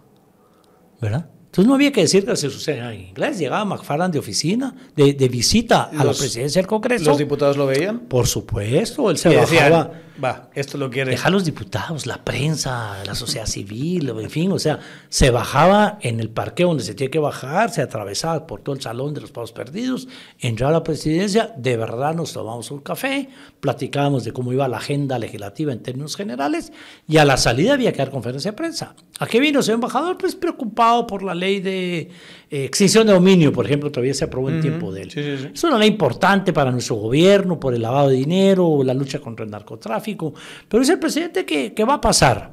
¿verdad? Entonces al día siguiente, sesión de jefes de bloque, ayer vino el embajador, muchacha, porque la ley acá no camina, ¿verdad? Entonces no había que necesidad de decirles, les va a quitar la visa. En esa época ¿Ah? los diputados reconocían, digamos, como el poder de, Estados Unidos, que después ha sido una de las luchas, es decir, ahora nosotros aquí estamos resistiendo la invasión extranjera. Y es que yo creo que, que así como, como, pues no nos gusta decirles inteligentes, digamos como sagazmente o, de, alguna manera han encontrado leyes para estar jodiendo todo este sistema, y también digamos que eh, de, alguna forma eh, iban encontrando eh, eh, eh, aquel respeto, digamos de alguna manera, a la misma clase política. Siendo político, que te castigaran con quitarte la visa y eso se supiera públicamente, te hacía daño. Hoy, hoy sagazmente, como digo, le han logrado dar vuelta al tema. Que te quiten la visa es un honor porque defiendo este país de la injerencia extranjera. Pues es y un por honor eso me metieron a esa lista. Es un honor entre ciertos círculos, ¿verdad? porque en términos, digamos, de los resultados electorales tampoco es como que les, dado los recursos que se han gastado, tampoco les ha ido tan bien. Pues yo espero que hayan aprendido la lección. O sea, decir que odian a la CICIC, decir que yo fui el que echó la CICIC de este país, eh, decir que no va a volver la CICIC, de, eh, decir que defienden la soberanía, que son antigringos, que no se metan, que la comunidad internacional no se debe meter, pues les costó la elección, ¿verdad? Y si no aprenden la lección de que ese discurso no vale, eh, está mal, está mal como, como, como sector ideológico. ¿Tú sientes que esos dos años te generan un digamos, esa actitud que tenías, abrir las puertas a la sociedad civil, escuchar e instrumentalizar, hay que decirlo, a la comunidad internacional para pasar las cosas, eh, jugar, digamos, con la psicología de los diputados para pasar todas estas leyes que en última instancia van a fortalecer al MP y que en última instancia también van a ser utilizadas contra la misma clase política, la misma clase Digamos, antes parte de la clase empresarial. ¿no? Sí, antes cuando me defendía de los ataques en las redes sociales, decía, bueno, ¿y, y, qué aprobé yo cuando era presidente del Congreso? Véanlo. Pues aprobamos, somos el país con más leyes a favor del tema de derechos de la mujer, aprobamos una serie, la ley de, libre acceso a la información, cambiamos las leyes del Congreso para que el dinero del Congreso esté en el Banco de Guatemala, en un banco privado. O sea, la cantidad de cambios que hicimos nos hizo muy fuertes incluso con los mismos diputados. Además le dimos su lugar al diputado. Como debería ser, un, lugar honrado, honroso, eh, y, los tratábamos bien. No era una lucha como la que ellos esperaban de Taracena, que los iba a maltratar en público, decirles, no, conmigo tenían mucha cortesía. Pero claro que utilizamos a la comunidad internacional, utilizamos a esa sociedad civil que estaba a favor de, que hubieran cambios, y entonces había una, una, buena, una buena relación. Y, y eh, eh, lo mediático. ¿A qué periodista no le iba a gustar que llegara el embajador de Estados Unidos en persona a admitir que estaba llegando a apoyar una ley eh, eh, de las que quería la CICI? Y digamos, y encima no había esas reacciones que hubo después, ¿verdad? Ha sido una historia muy reciente esta de que si ves medio pisar la puerta a un embajador, empiezas a gritar. O sea, pues te digo que sagazmente le han. Mm. sabido dar vuelta al tema.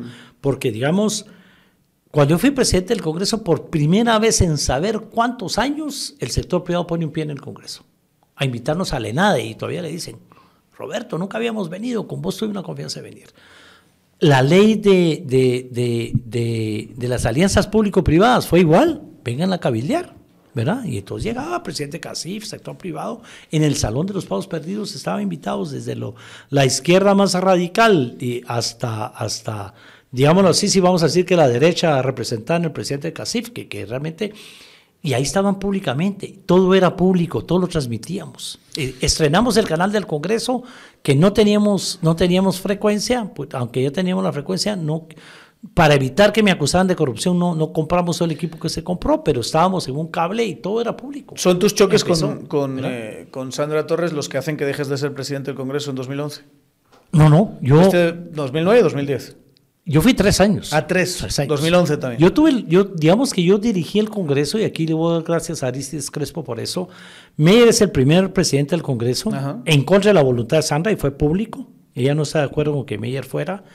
Eh, yo llego de primer secretario, eso me ayuda un montón porque como primer secretario, aunque Meyer me quita todos los poderes porque no era yo su secretario, ¿verdad? Sino que el partido me mete. Eh, cuando Meyer tiene que renunciar por los 82 millones que se perdieron en la bolsa de valores y todo el caso de MDF, queda Aristides Crespo, que era del FRG. Aristides Crespo muy inteligentemente me dice, Roberto, yo no soy del gobierno. Claro que quiero ser presidente del Congreso, pero no quiero ser un presidente en oposición, ni tampoco quiero ser descaradamente aliado. Déjame lo bonito del Congreso, o sea, protocolo, eh, las plenarias, los viajes, las embajadas, eh, y qué sé yo, y te entrego toda la administración del Congreso. Ahí cambiamos las leyes de cómo elegir al director general, a los directores. Esto es los 2008 generales. todavía. Todavía estamos hablando de 2008. Entonces, 9, 10 y 11, eh, digamos, entonces eso permite que cuando Taracena ya no puede ser el, el el candidato a la presidencia porque no tenía los votos de, de los partidos aliados, me piden un 20 de octubre, que fue formidable cuando me lo piden, cómo me regreso, cómo me cambia la vida, que sea yo el candidato. Roxana no me lo perdona porque sabía que conmigo se iba a perder. Y ella decía, por tu hermano que le va a dar plata a los diputados. No, pero no era ese el tema. Era ser primer secretario me había hecho popular con los diputados, me había hecho popular con la población, me había hecho popular con la prensa. Quedo y soy presidente del Congreso tres años. O sea, Sandra, O sea, ya te estaban, Ah, solo ah. una cosa, ya te estaban diciendo, ya. tu hermano da, da dinero. ¿Qué pensabas tú de todo eso? Mira, ¿qué le pasó a tu hermano? ¿No le querían en casa igual que a ti? ¿No era el favorito? ¿Cómo es eso? Bueno, mira, yo. O sea, no- porque a- vamos a hacer, digamos, y, y no, sé, no sé qué tanto te molesta que te diga estas cosas, pero tu hermano es lo peor de lo peor A ver, en ¿en el ámbito sentido? político. Pues, en- eh, yo, digamos, lo llama- le llamaban el pulpo. Tenía brazos en todas partes. Aparte- Él es el ejemplo clarísimo de alguien, alguien que ya tiene la Magnitsky, imagínate. Ajá. Es el ejemplo clarísimo de alguien que entiende al Estado como dónde voy a meter mis manos para hacer negocios. Y en ne- negocios ridículamente eh, eh, beneficiosos para él. Ridículamente. Di- digamos que el tema hermano, que no me gusta tocarlo mucho, pero, pero toquémoslo. Digamos que ahí es donde la gente tiene que aprender lo que es un político de verdad y lo que es un empresario.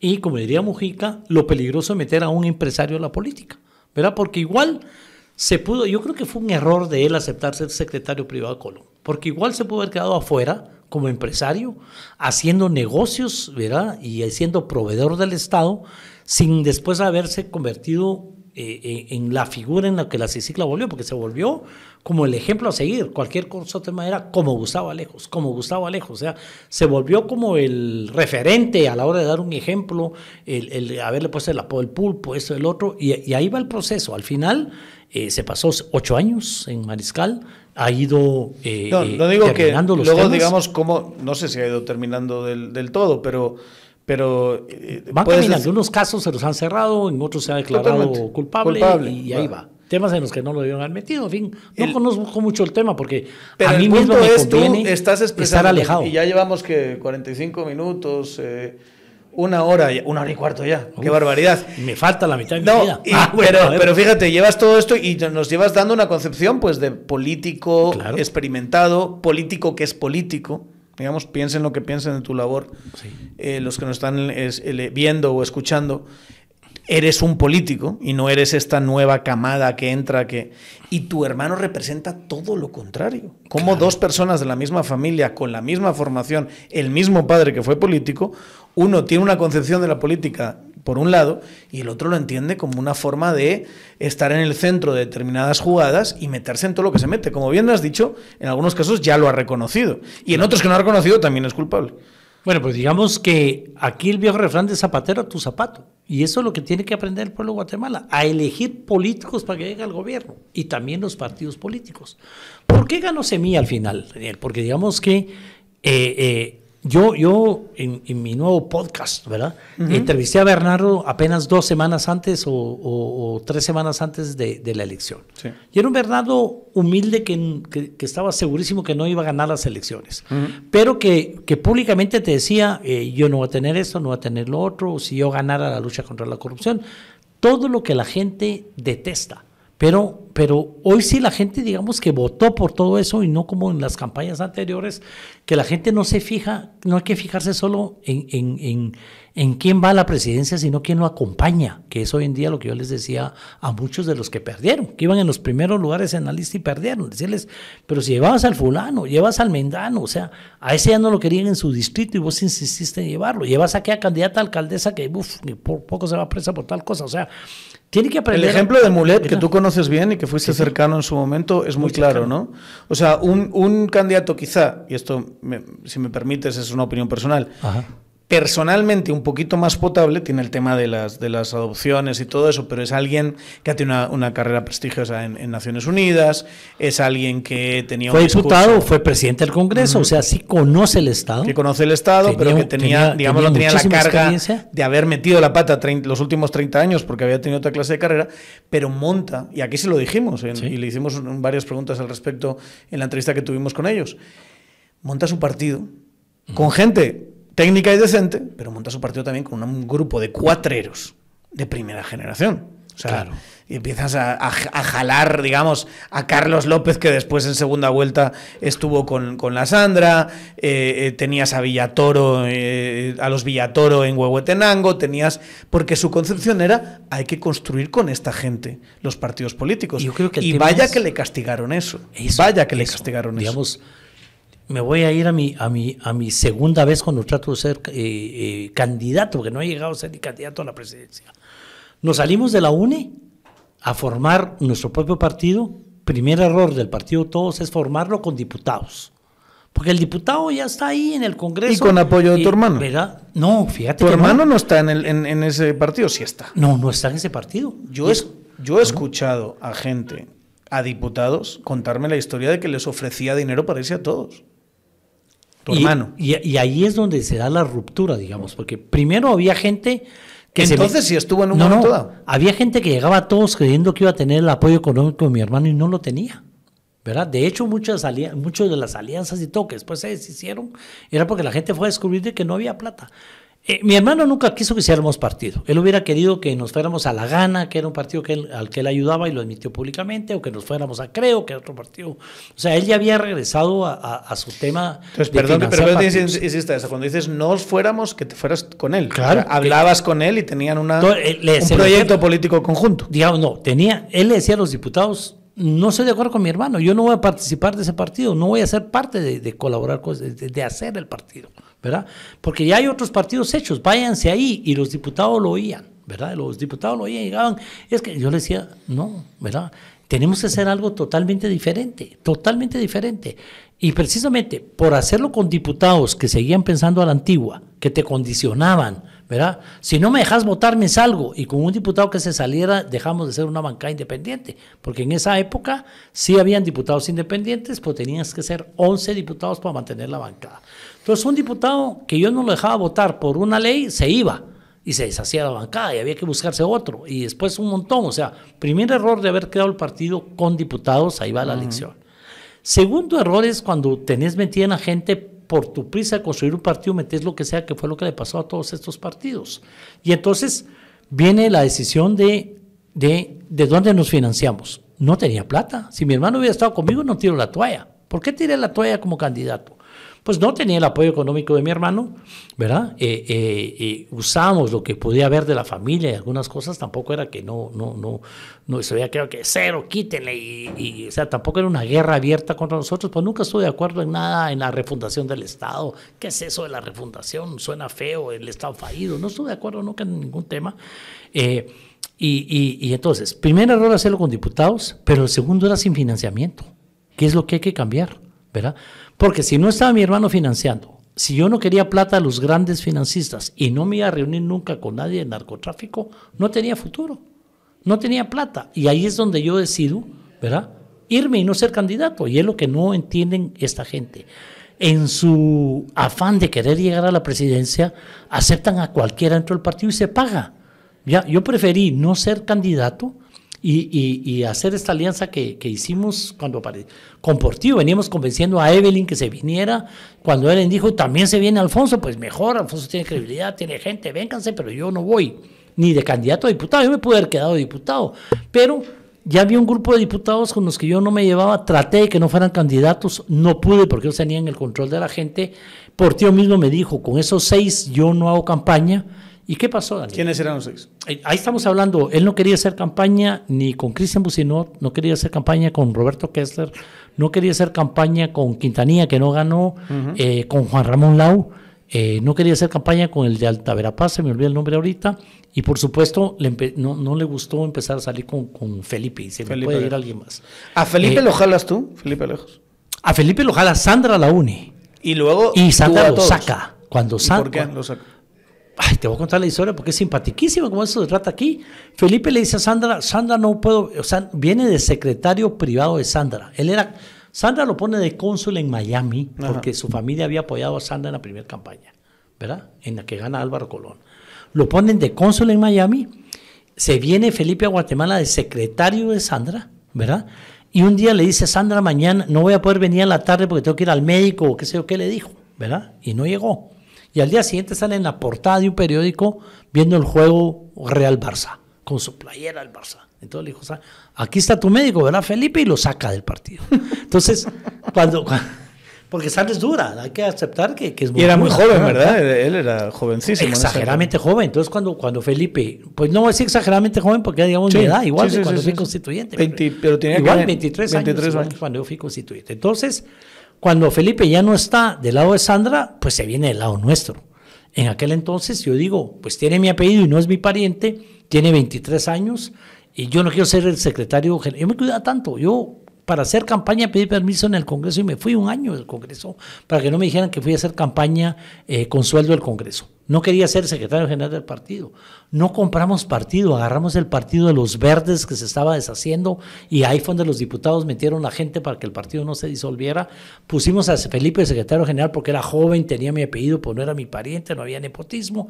Y al final, digamos, cuando hicimos la alianza con Portillo, porque yo decidí ya no ser candidato por falta de plata, porque no quería hacer eh, eh, esas alianzas con quien después te cobran, eh, Vino el tema de, de, de, de Alfonso, no lo inscriben Alfonso, historia que todo el mundo conoce, que no, no lo inscribe el Tribunal Supremo Electoral. Con en 2015, en esa con efervescencia. Con él se estrena la aplicación de ese artículo constitucional de la honorabilidad, de la, honorabilidad, idoneidad y todo el tema, ¿verdad? Que, que, no se aplica parejo, pero con él se estrena. Pero por ti me dice, me quedo, hagamos campaña juntos, ¿verdad? Porque vos no vas de candidato, yo tampoco voy de candidato, hagamos campaña por ese partido, salvémoslo. Y en aquel entonces había una intención de quedarse por el partido para lanzar a alguien más, pero no puedo hacer campaña por estos seis. Yo le digo, a esos seis yo quise que no jugaran, o por lo menos cuatro de esos seis yo quise que no jugaran. Y está bien, no hagamos campaña por ellos. Y ganan. De los seis ganan cinco. Entonces, no perdí el partido. Me tenía que ir por dignidad si la gente que no quería que estuviera ahí. Gente que iba a ser rebelde en el caso del partido. Y ellos son los que ganan, ¿verdad? A un diputado por Izabal, no me acuerdo el nombre, era el sexto, ¿verdad? Eh, lo digno era irte, si es la gente que no querías que llegara. Además, ya un Felipe que se había descubierto que la, el apoyo que llegaba al partido era a los diputados, de parte de mi hermano, de algunos empresarios, era a través de Felipe, ¿verdad? Directo a los diputados, no a través mío. Que el dinero de la campaña también lo había manejado Felipe y yo no había manejado ni un len. Pues lo más digno es que le prohibía a un montón de gente. Se oye feo decirles prohibir, pero mucha no vamos. Viene la plaza, se está volviendo terrible, la legislatura va a ser grave. No juguemos, ¿verdad? A lo mejor hay una tercera que es la vencida y hay, eso sigo diciendo, ¿verdad? Ya tuve dos oportunidades, yo mismo las desprecié. Algún día a lo mejor sea la tercera. ¿Te gustaría volver? Bueno, es que no te dan ganas, Daniel, cuando ves lo que hay. ¿verdad? A mí sí me dan ganas cuando dice, la vieja política no sirve. Momento, no sirve la política actual. La vieja era buena, ¿verdad? Sí, pero eh, Y, yo, es una pregunta que le planteé a, a, Taracena, a Portillo y te la planteo a ti. ¿Es esta generación de políticos que algo mal hicieron para que metiesen después a toda esta banda de cuatreros que tenemos ahora? No significa que la política antes fuese una maravilla, pero como que se da la sensación, y sobre todo escuchándoles a ustedes, de que se fue degradando.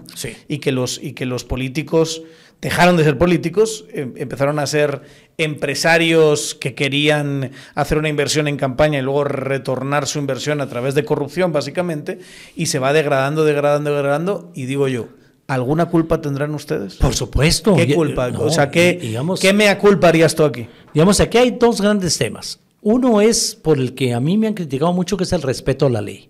Cuando a mí en el caso Rosa me dice, ¿usted qué opina del tema de su hermano? Yo voy a hacer lo que la ley diga. Primero, no me meto en ningún tema de mi hermano dejo que sea el organismo judicial el que lleve el proceso y yo mientras más lejos me mantenga mejor para no estorbar, sobre todo siendo presidente del Congreso o siendo candidato a la presidencia la segunda vez o siendo lo que sea, yo me tengo que mantener alejado. Además, siendo pro CICIC, digamos, tengo que dejar que la CICIC haga su trabajo o es mentira que es pro CICIC. Esa falta de respeto a la ley, ¿verdad? Nos llevó hasta donde nos llevó. Y el que nosotros le abriéramos la puerta a gente joven que no eran políticos por el hecho de ser jóvenes nada más, ¿verdad? Porque realmente ese fue el tema.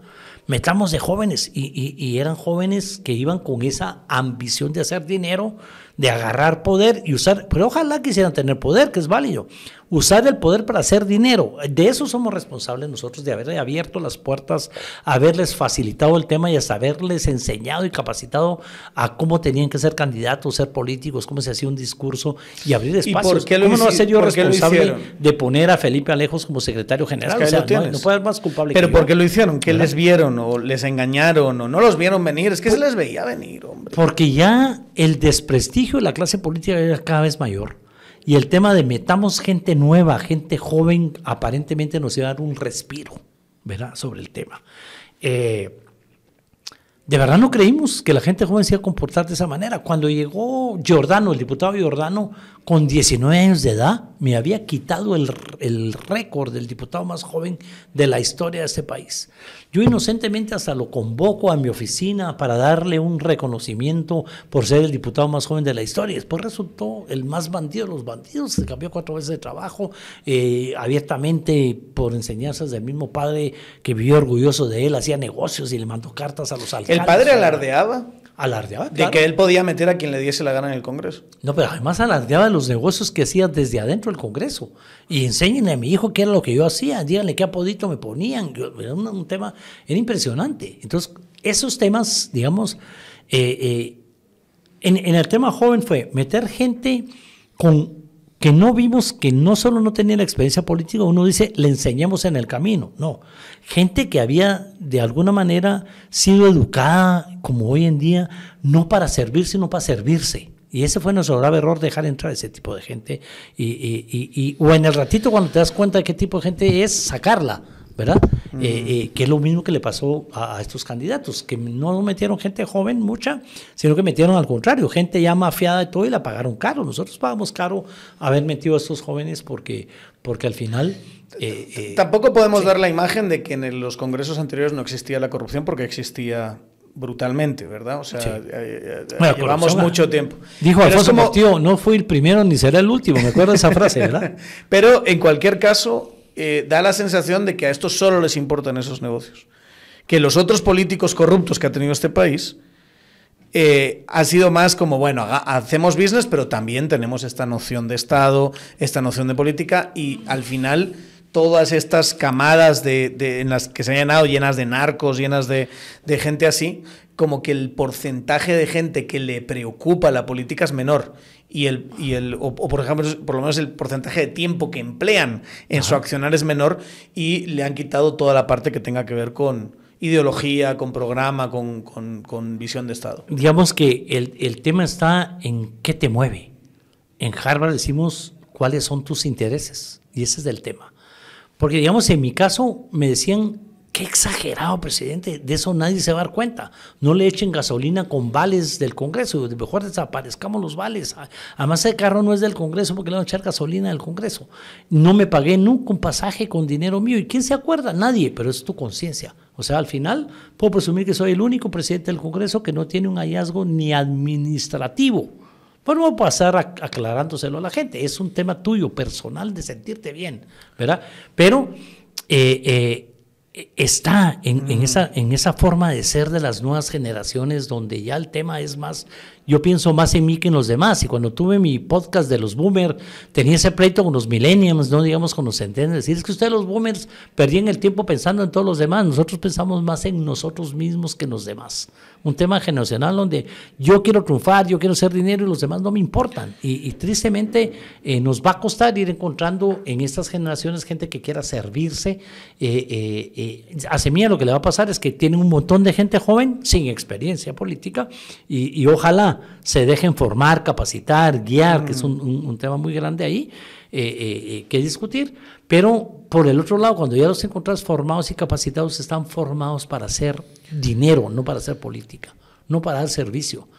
Yo lo acabo de ver hasta en los clubes rotarios y todos los clubes de servicio. No logra meter gente joven a sus clubes. perdona que te haga esta pregunta y me puedes mandar, a, como decía mi abuelo, a hacer gárgaras. hacer gárgaras, si, eso. si quieres. ¿Tú te hablas con tu hermano? ¿Tienes conversaciones sobre política, sobre el pasado, sobre lo que hicieron? ¿Tienes, ¿Tienes esa clase de relación con él? Pues no me gusta tocar el tema, pero lo voy a tocar contigo en el tema de decir, no, no nos hablamos. O sea, no, no, no. Digamos, para mi familia fue bien difícil entender mi postura y digamos que, que, mucha gente de la familia me critica hasta que esté ahorita en esta entrevista tocando el tema. para, para, para mi familia debería decir, el tema de mi hermano prefiero no tocarlo, es un tema que lo arregle la ley, pero de verdad digamos, desde que Edmond Mulet fue precandidato nuestro en el partido todos, ¿sí? Eh, eh, cuando yo tiré la toalla, el primero que vino como candidato fue Edmond. me acuerdo que había un artículo de viene Mulet y lo estaban apadrinando Portillo y, no sé quién. Y Portillo fue el que, el que nos lo trajo y lo apadrinó y Mulet sacó aquella publicación, ¿qué te han hecho mi Guatemala? y todo el tema. Pero lo entrevistaron y, le preguntaron precisamente eso. Pero ahí está Gustavo Alejo ese partido, él dijo que no, ese individuo no está ahí y quien lo entrevistó sacó otra entrevista de mi hermano en otro medio de comunicación de todo lo que él había dicho que tenía de bienes. Desde ahí él me mandó un mensaje que dijo, tu candidato me maltrató, me trató mal, es como que me hubieras maltratado vos. Desde ahí rompimos la relación, digamos. Y él me decía, pues son hermanos, no, hombre, sí. Están hablando casi hace 10 años. Me, acabo, no, estamos hablando de mucho más, ¿verdad? no, sí, hombre. De, eh, son 2003. 2014, 13, 14. Casi, casi 10 años. Sí, 10 años, un poco más. Ahí en ese entonces, si la gente Ah, me acabo de pelear con un cuate le digo, bueno, ¿por qué te peleas conmigo si somos como hermanos? Por eso, si los hermanos se pelean, ¿verdad? Son los que más se pelean. Él se distanció de mí, yo entiendo por qué se distanció de mí. Es difícil estar, digamos, eh, siendo investigado o juzgado por un montón de temas de los cuales pueda ser responsable, ser la figura en el tema CICIC, ser el ejemplo que se ponía para todo, eh, los medios de comunicación lo dejan de perder y que tu hermano sigue estando en el mismo lugar de antes, hablando bien de la CICIC, hablando de que la justicia, hablando de la lucha contra la corrupción y diciendo, yo en el caso de mi hermano prefiero que sea la ley y el, y el tema judicial quien lo resuelva ¿verdad? Y, hasta ahí. ¿Estás contento con lo que ha pasado en estas elecciones? ¿Perdón? ¿Estás contento con lo que ha pasado en estas elecciones? Ah, yo sí, yo creo que sí. ¿Crees que es una oportunidad? Yo creo, yo estoy contento, no creo. Estoy contento con lo que pasó en estas elecciones. Creo que realmente es una lección para la clase política que se volvió ya tradicional, aunque no me gusta usar el nombre, y creo que sí se abre la puerta a una oportunidad de un partido diferente, con gente diferente. Ojalá que la sepan aprovechar, ojalá no se les suba a la cabeza el tema, ojalá puedan entrar a un diálogo y diferenciar. Consejos para que eso no pase. ¿Qué, qué, le dirías tanto al presidente Arevalo como a su bancada que tienen que hacer en estos cuatro años? Eh, para, para que no se desaproveche la oportunidad. Primero, nadie nace sabiendo consejo para la bancada y se las di hace cuatro años y lamentablemente no, no, tuve comunicación con ellos, es el Congreso es un monstruo de siete cabezas donde ellos, no es lo mismo ser minoría y oposición que ser minoría y siendo de gobierno. Y oficialista. Y oficialista. Se los pueden comer si no buscan gente como Mario Taracena y cualquier otro que tiene. O sea, para poder andar entre el lodo, tú, saber cómo vas a andar entre el lodo, tenés que platicar con alguien que anduvo entre el lodo ¿verdad? Los que supimos comprar botas de plástico bien altas para no embarrarnos tanto, ¿verdad? Eh, tenemos, ¿verdad? Se, tienen que dejar asesorar, ayudar y conocer cómo se maneja ese monstruo, qué come, qué no come, cómo se muere, cómo se duerme. Y, eso es para la bancada. O sea, el Congreso de verdad está lleno ¿Qué les darías de comer a ese monstruo? ¿Perdón? ¿Cómo negociarías con ellos? ¿Qué, Porque yo creo que uno de los, lo hemos hablado aquí, lo hablamos con, con, eh, Raúl Barreda, lo hablamos con Samuel Pérez en gran medida tienen que, de alguna manera, diseñar una forma distinta de negociar. No, no se negocia con las plazas, no se negocia con, las, con los contratos, no se negocia con privilegios. Es que ya vimos quienes no negociamos de esa manera. Taracena no negocia de esa manera. Yo presumo de no haber negociado de esa Pero entonces, ¿cómo negociarías con este Congreso que está llenísimo de gente que está, que está demandando eso? de intereses. Es, estos diputados que se quedaron, se reeligieron, que pertenecen todavía al actual gobierno, ¿se quieren ir a la que viene o se quieren subir a este barco el cambio? Yo quisiera convencerlos de que o se suben al barco el cambio para que se vayan dignamente, ojalá se vayan dignamente, o se van a ir por las fuerzas. O, hay poquitos que todavía no se han ensuciado y se pueden salvar y ser parte de, este cambio que necesita el país. Eso es, lo que tenés que negociar, ¿no? No se trata de negociar no ser, plazas, No ser así purista de tú estuviste, tú hiciste y demás, sino abrir la puerta y decir, ¿quieres cambiar? es a partir de hoy. Sí. a partir de ese momento las cosas van de otra manera, conmigo se manejan diferente, ¿verdad? Yo lo tenía, Daniel, o sea, ¿te imaginas cuánta gente me decía, es que allá me deben, es que yo tenía un trato con no sé quién, yo, bueno, pero conmigo no. Yo no te debo nada, no tengo ningún trato con nada, yo, ¿verdad? Aquí que el tema es diferente. Aquí es un tema de dignificar el Congreso. ¿Te quieres subir a ese barco y volverte prestigio o te va a tocar irte en la que viene, ¿verdad? Eh, pero tenés que conocer, porque si los que te digan que no les interesa la dignificación del Congreso, que ahorita siguen ganando las elecciones, que no van a querer cambiar la ley electoral, se los van a comer, porque saben en dónde están las gavetas, en dónde están todo. Pues sabemos quiénes, o hay quienes, si no me quieren tomar en cuenta, que saben en dónde están las gavetas, dónde están las llaves que esconden las gavetas, ¿verdad? Y tú que estuviste aquí platicando con Taracena, ¿verdad? Un aliado como Taracena que, que sabe en qué momento decir lo que tiene que decir es el tema. Y para ver y lejos de asesores de Congreso de Semillas, lo que estás diciendo. pues digamos que, que, que, gente como Taracena, que de verdad, eh, es que Mario, igual que yo, venimos de, de, ser herederos de una clase política y, de partidos distintos, MLN y PR. ¿Y por qué nos llevamos bien? Porque, porque como lo publicó una vez eh, eh, otro medio de comunicación y dijo, es que esos sí son, ¿verdad? Clase política, digamos, ¿verdad?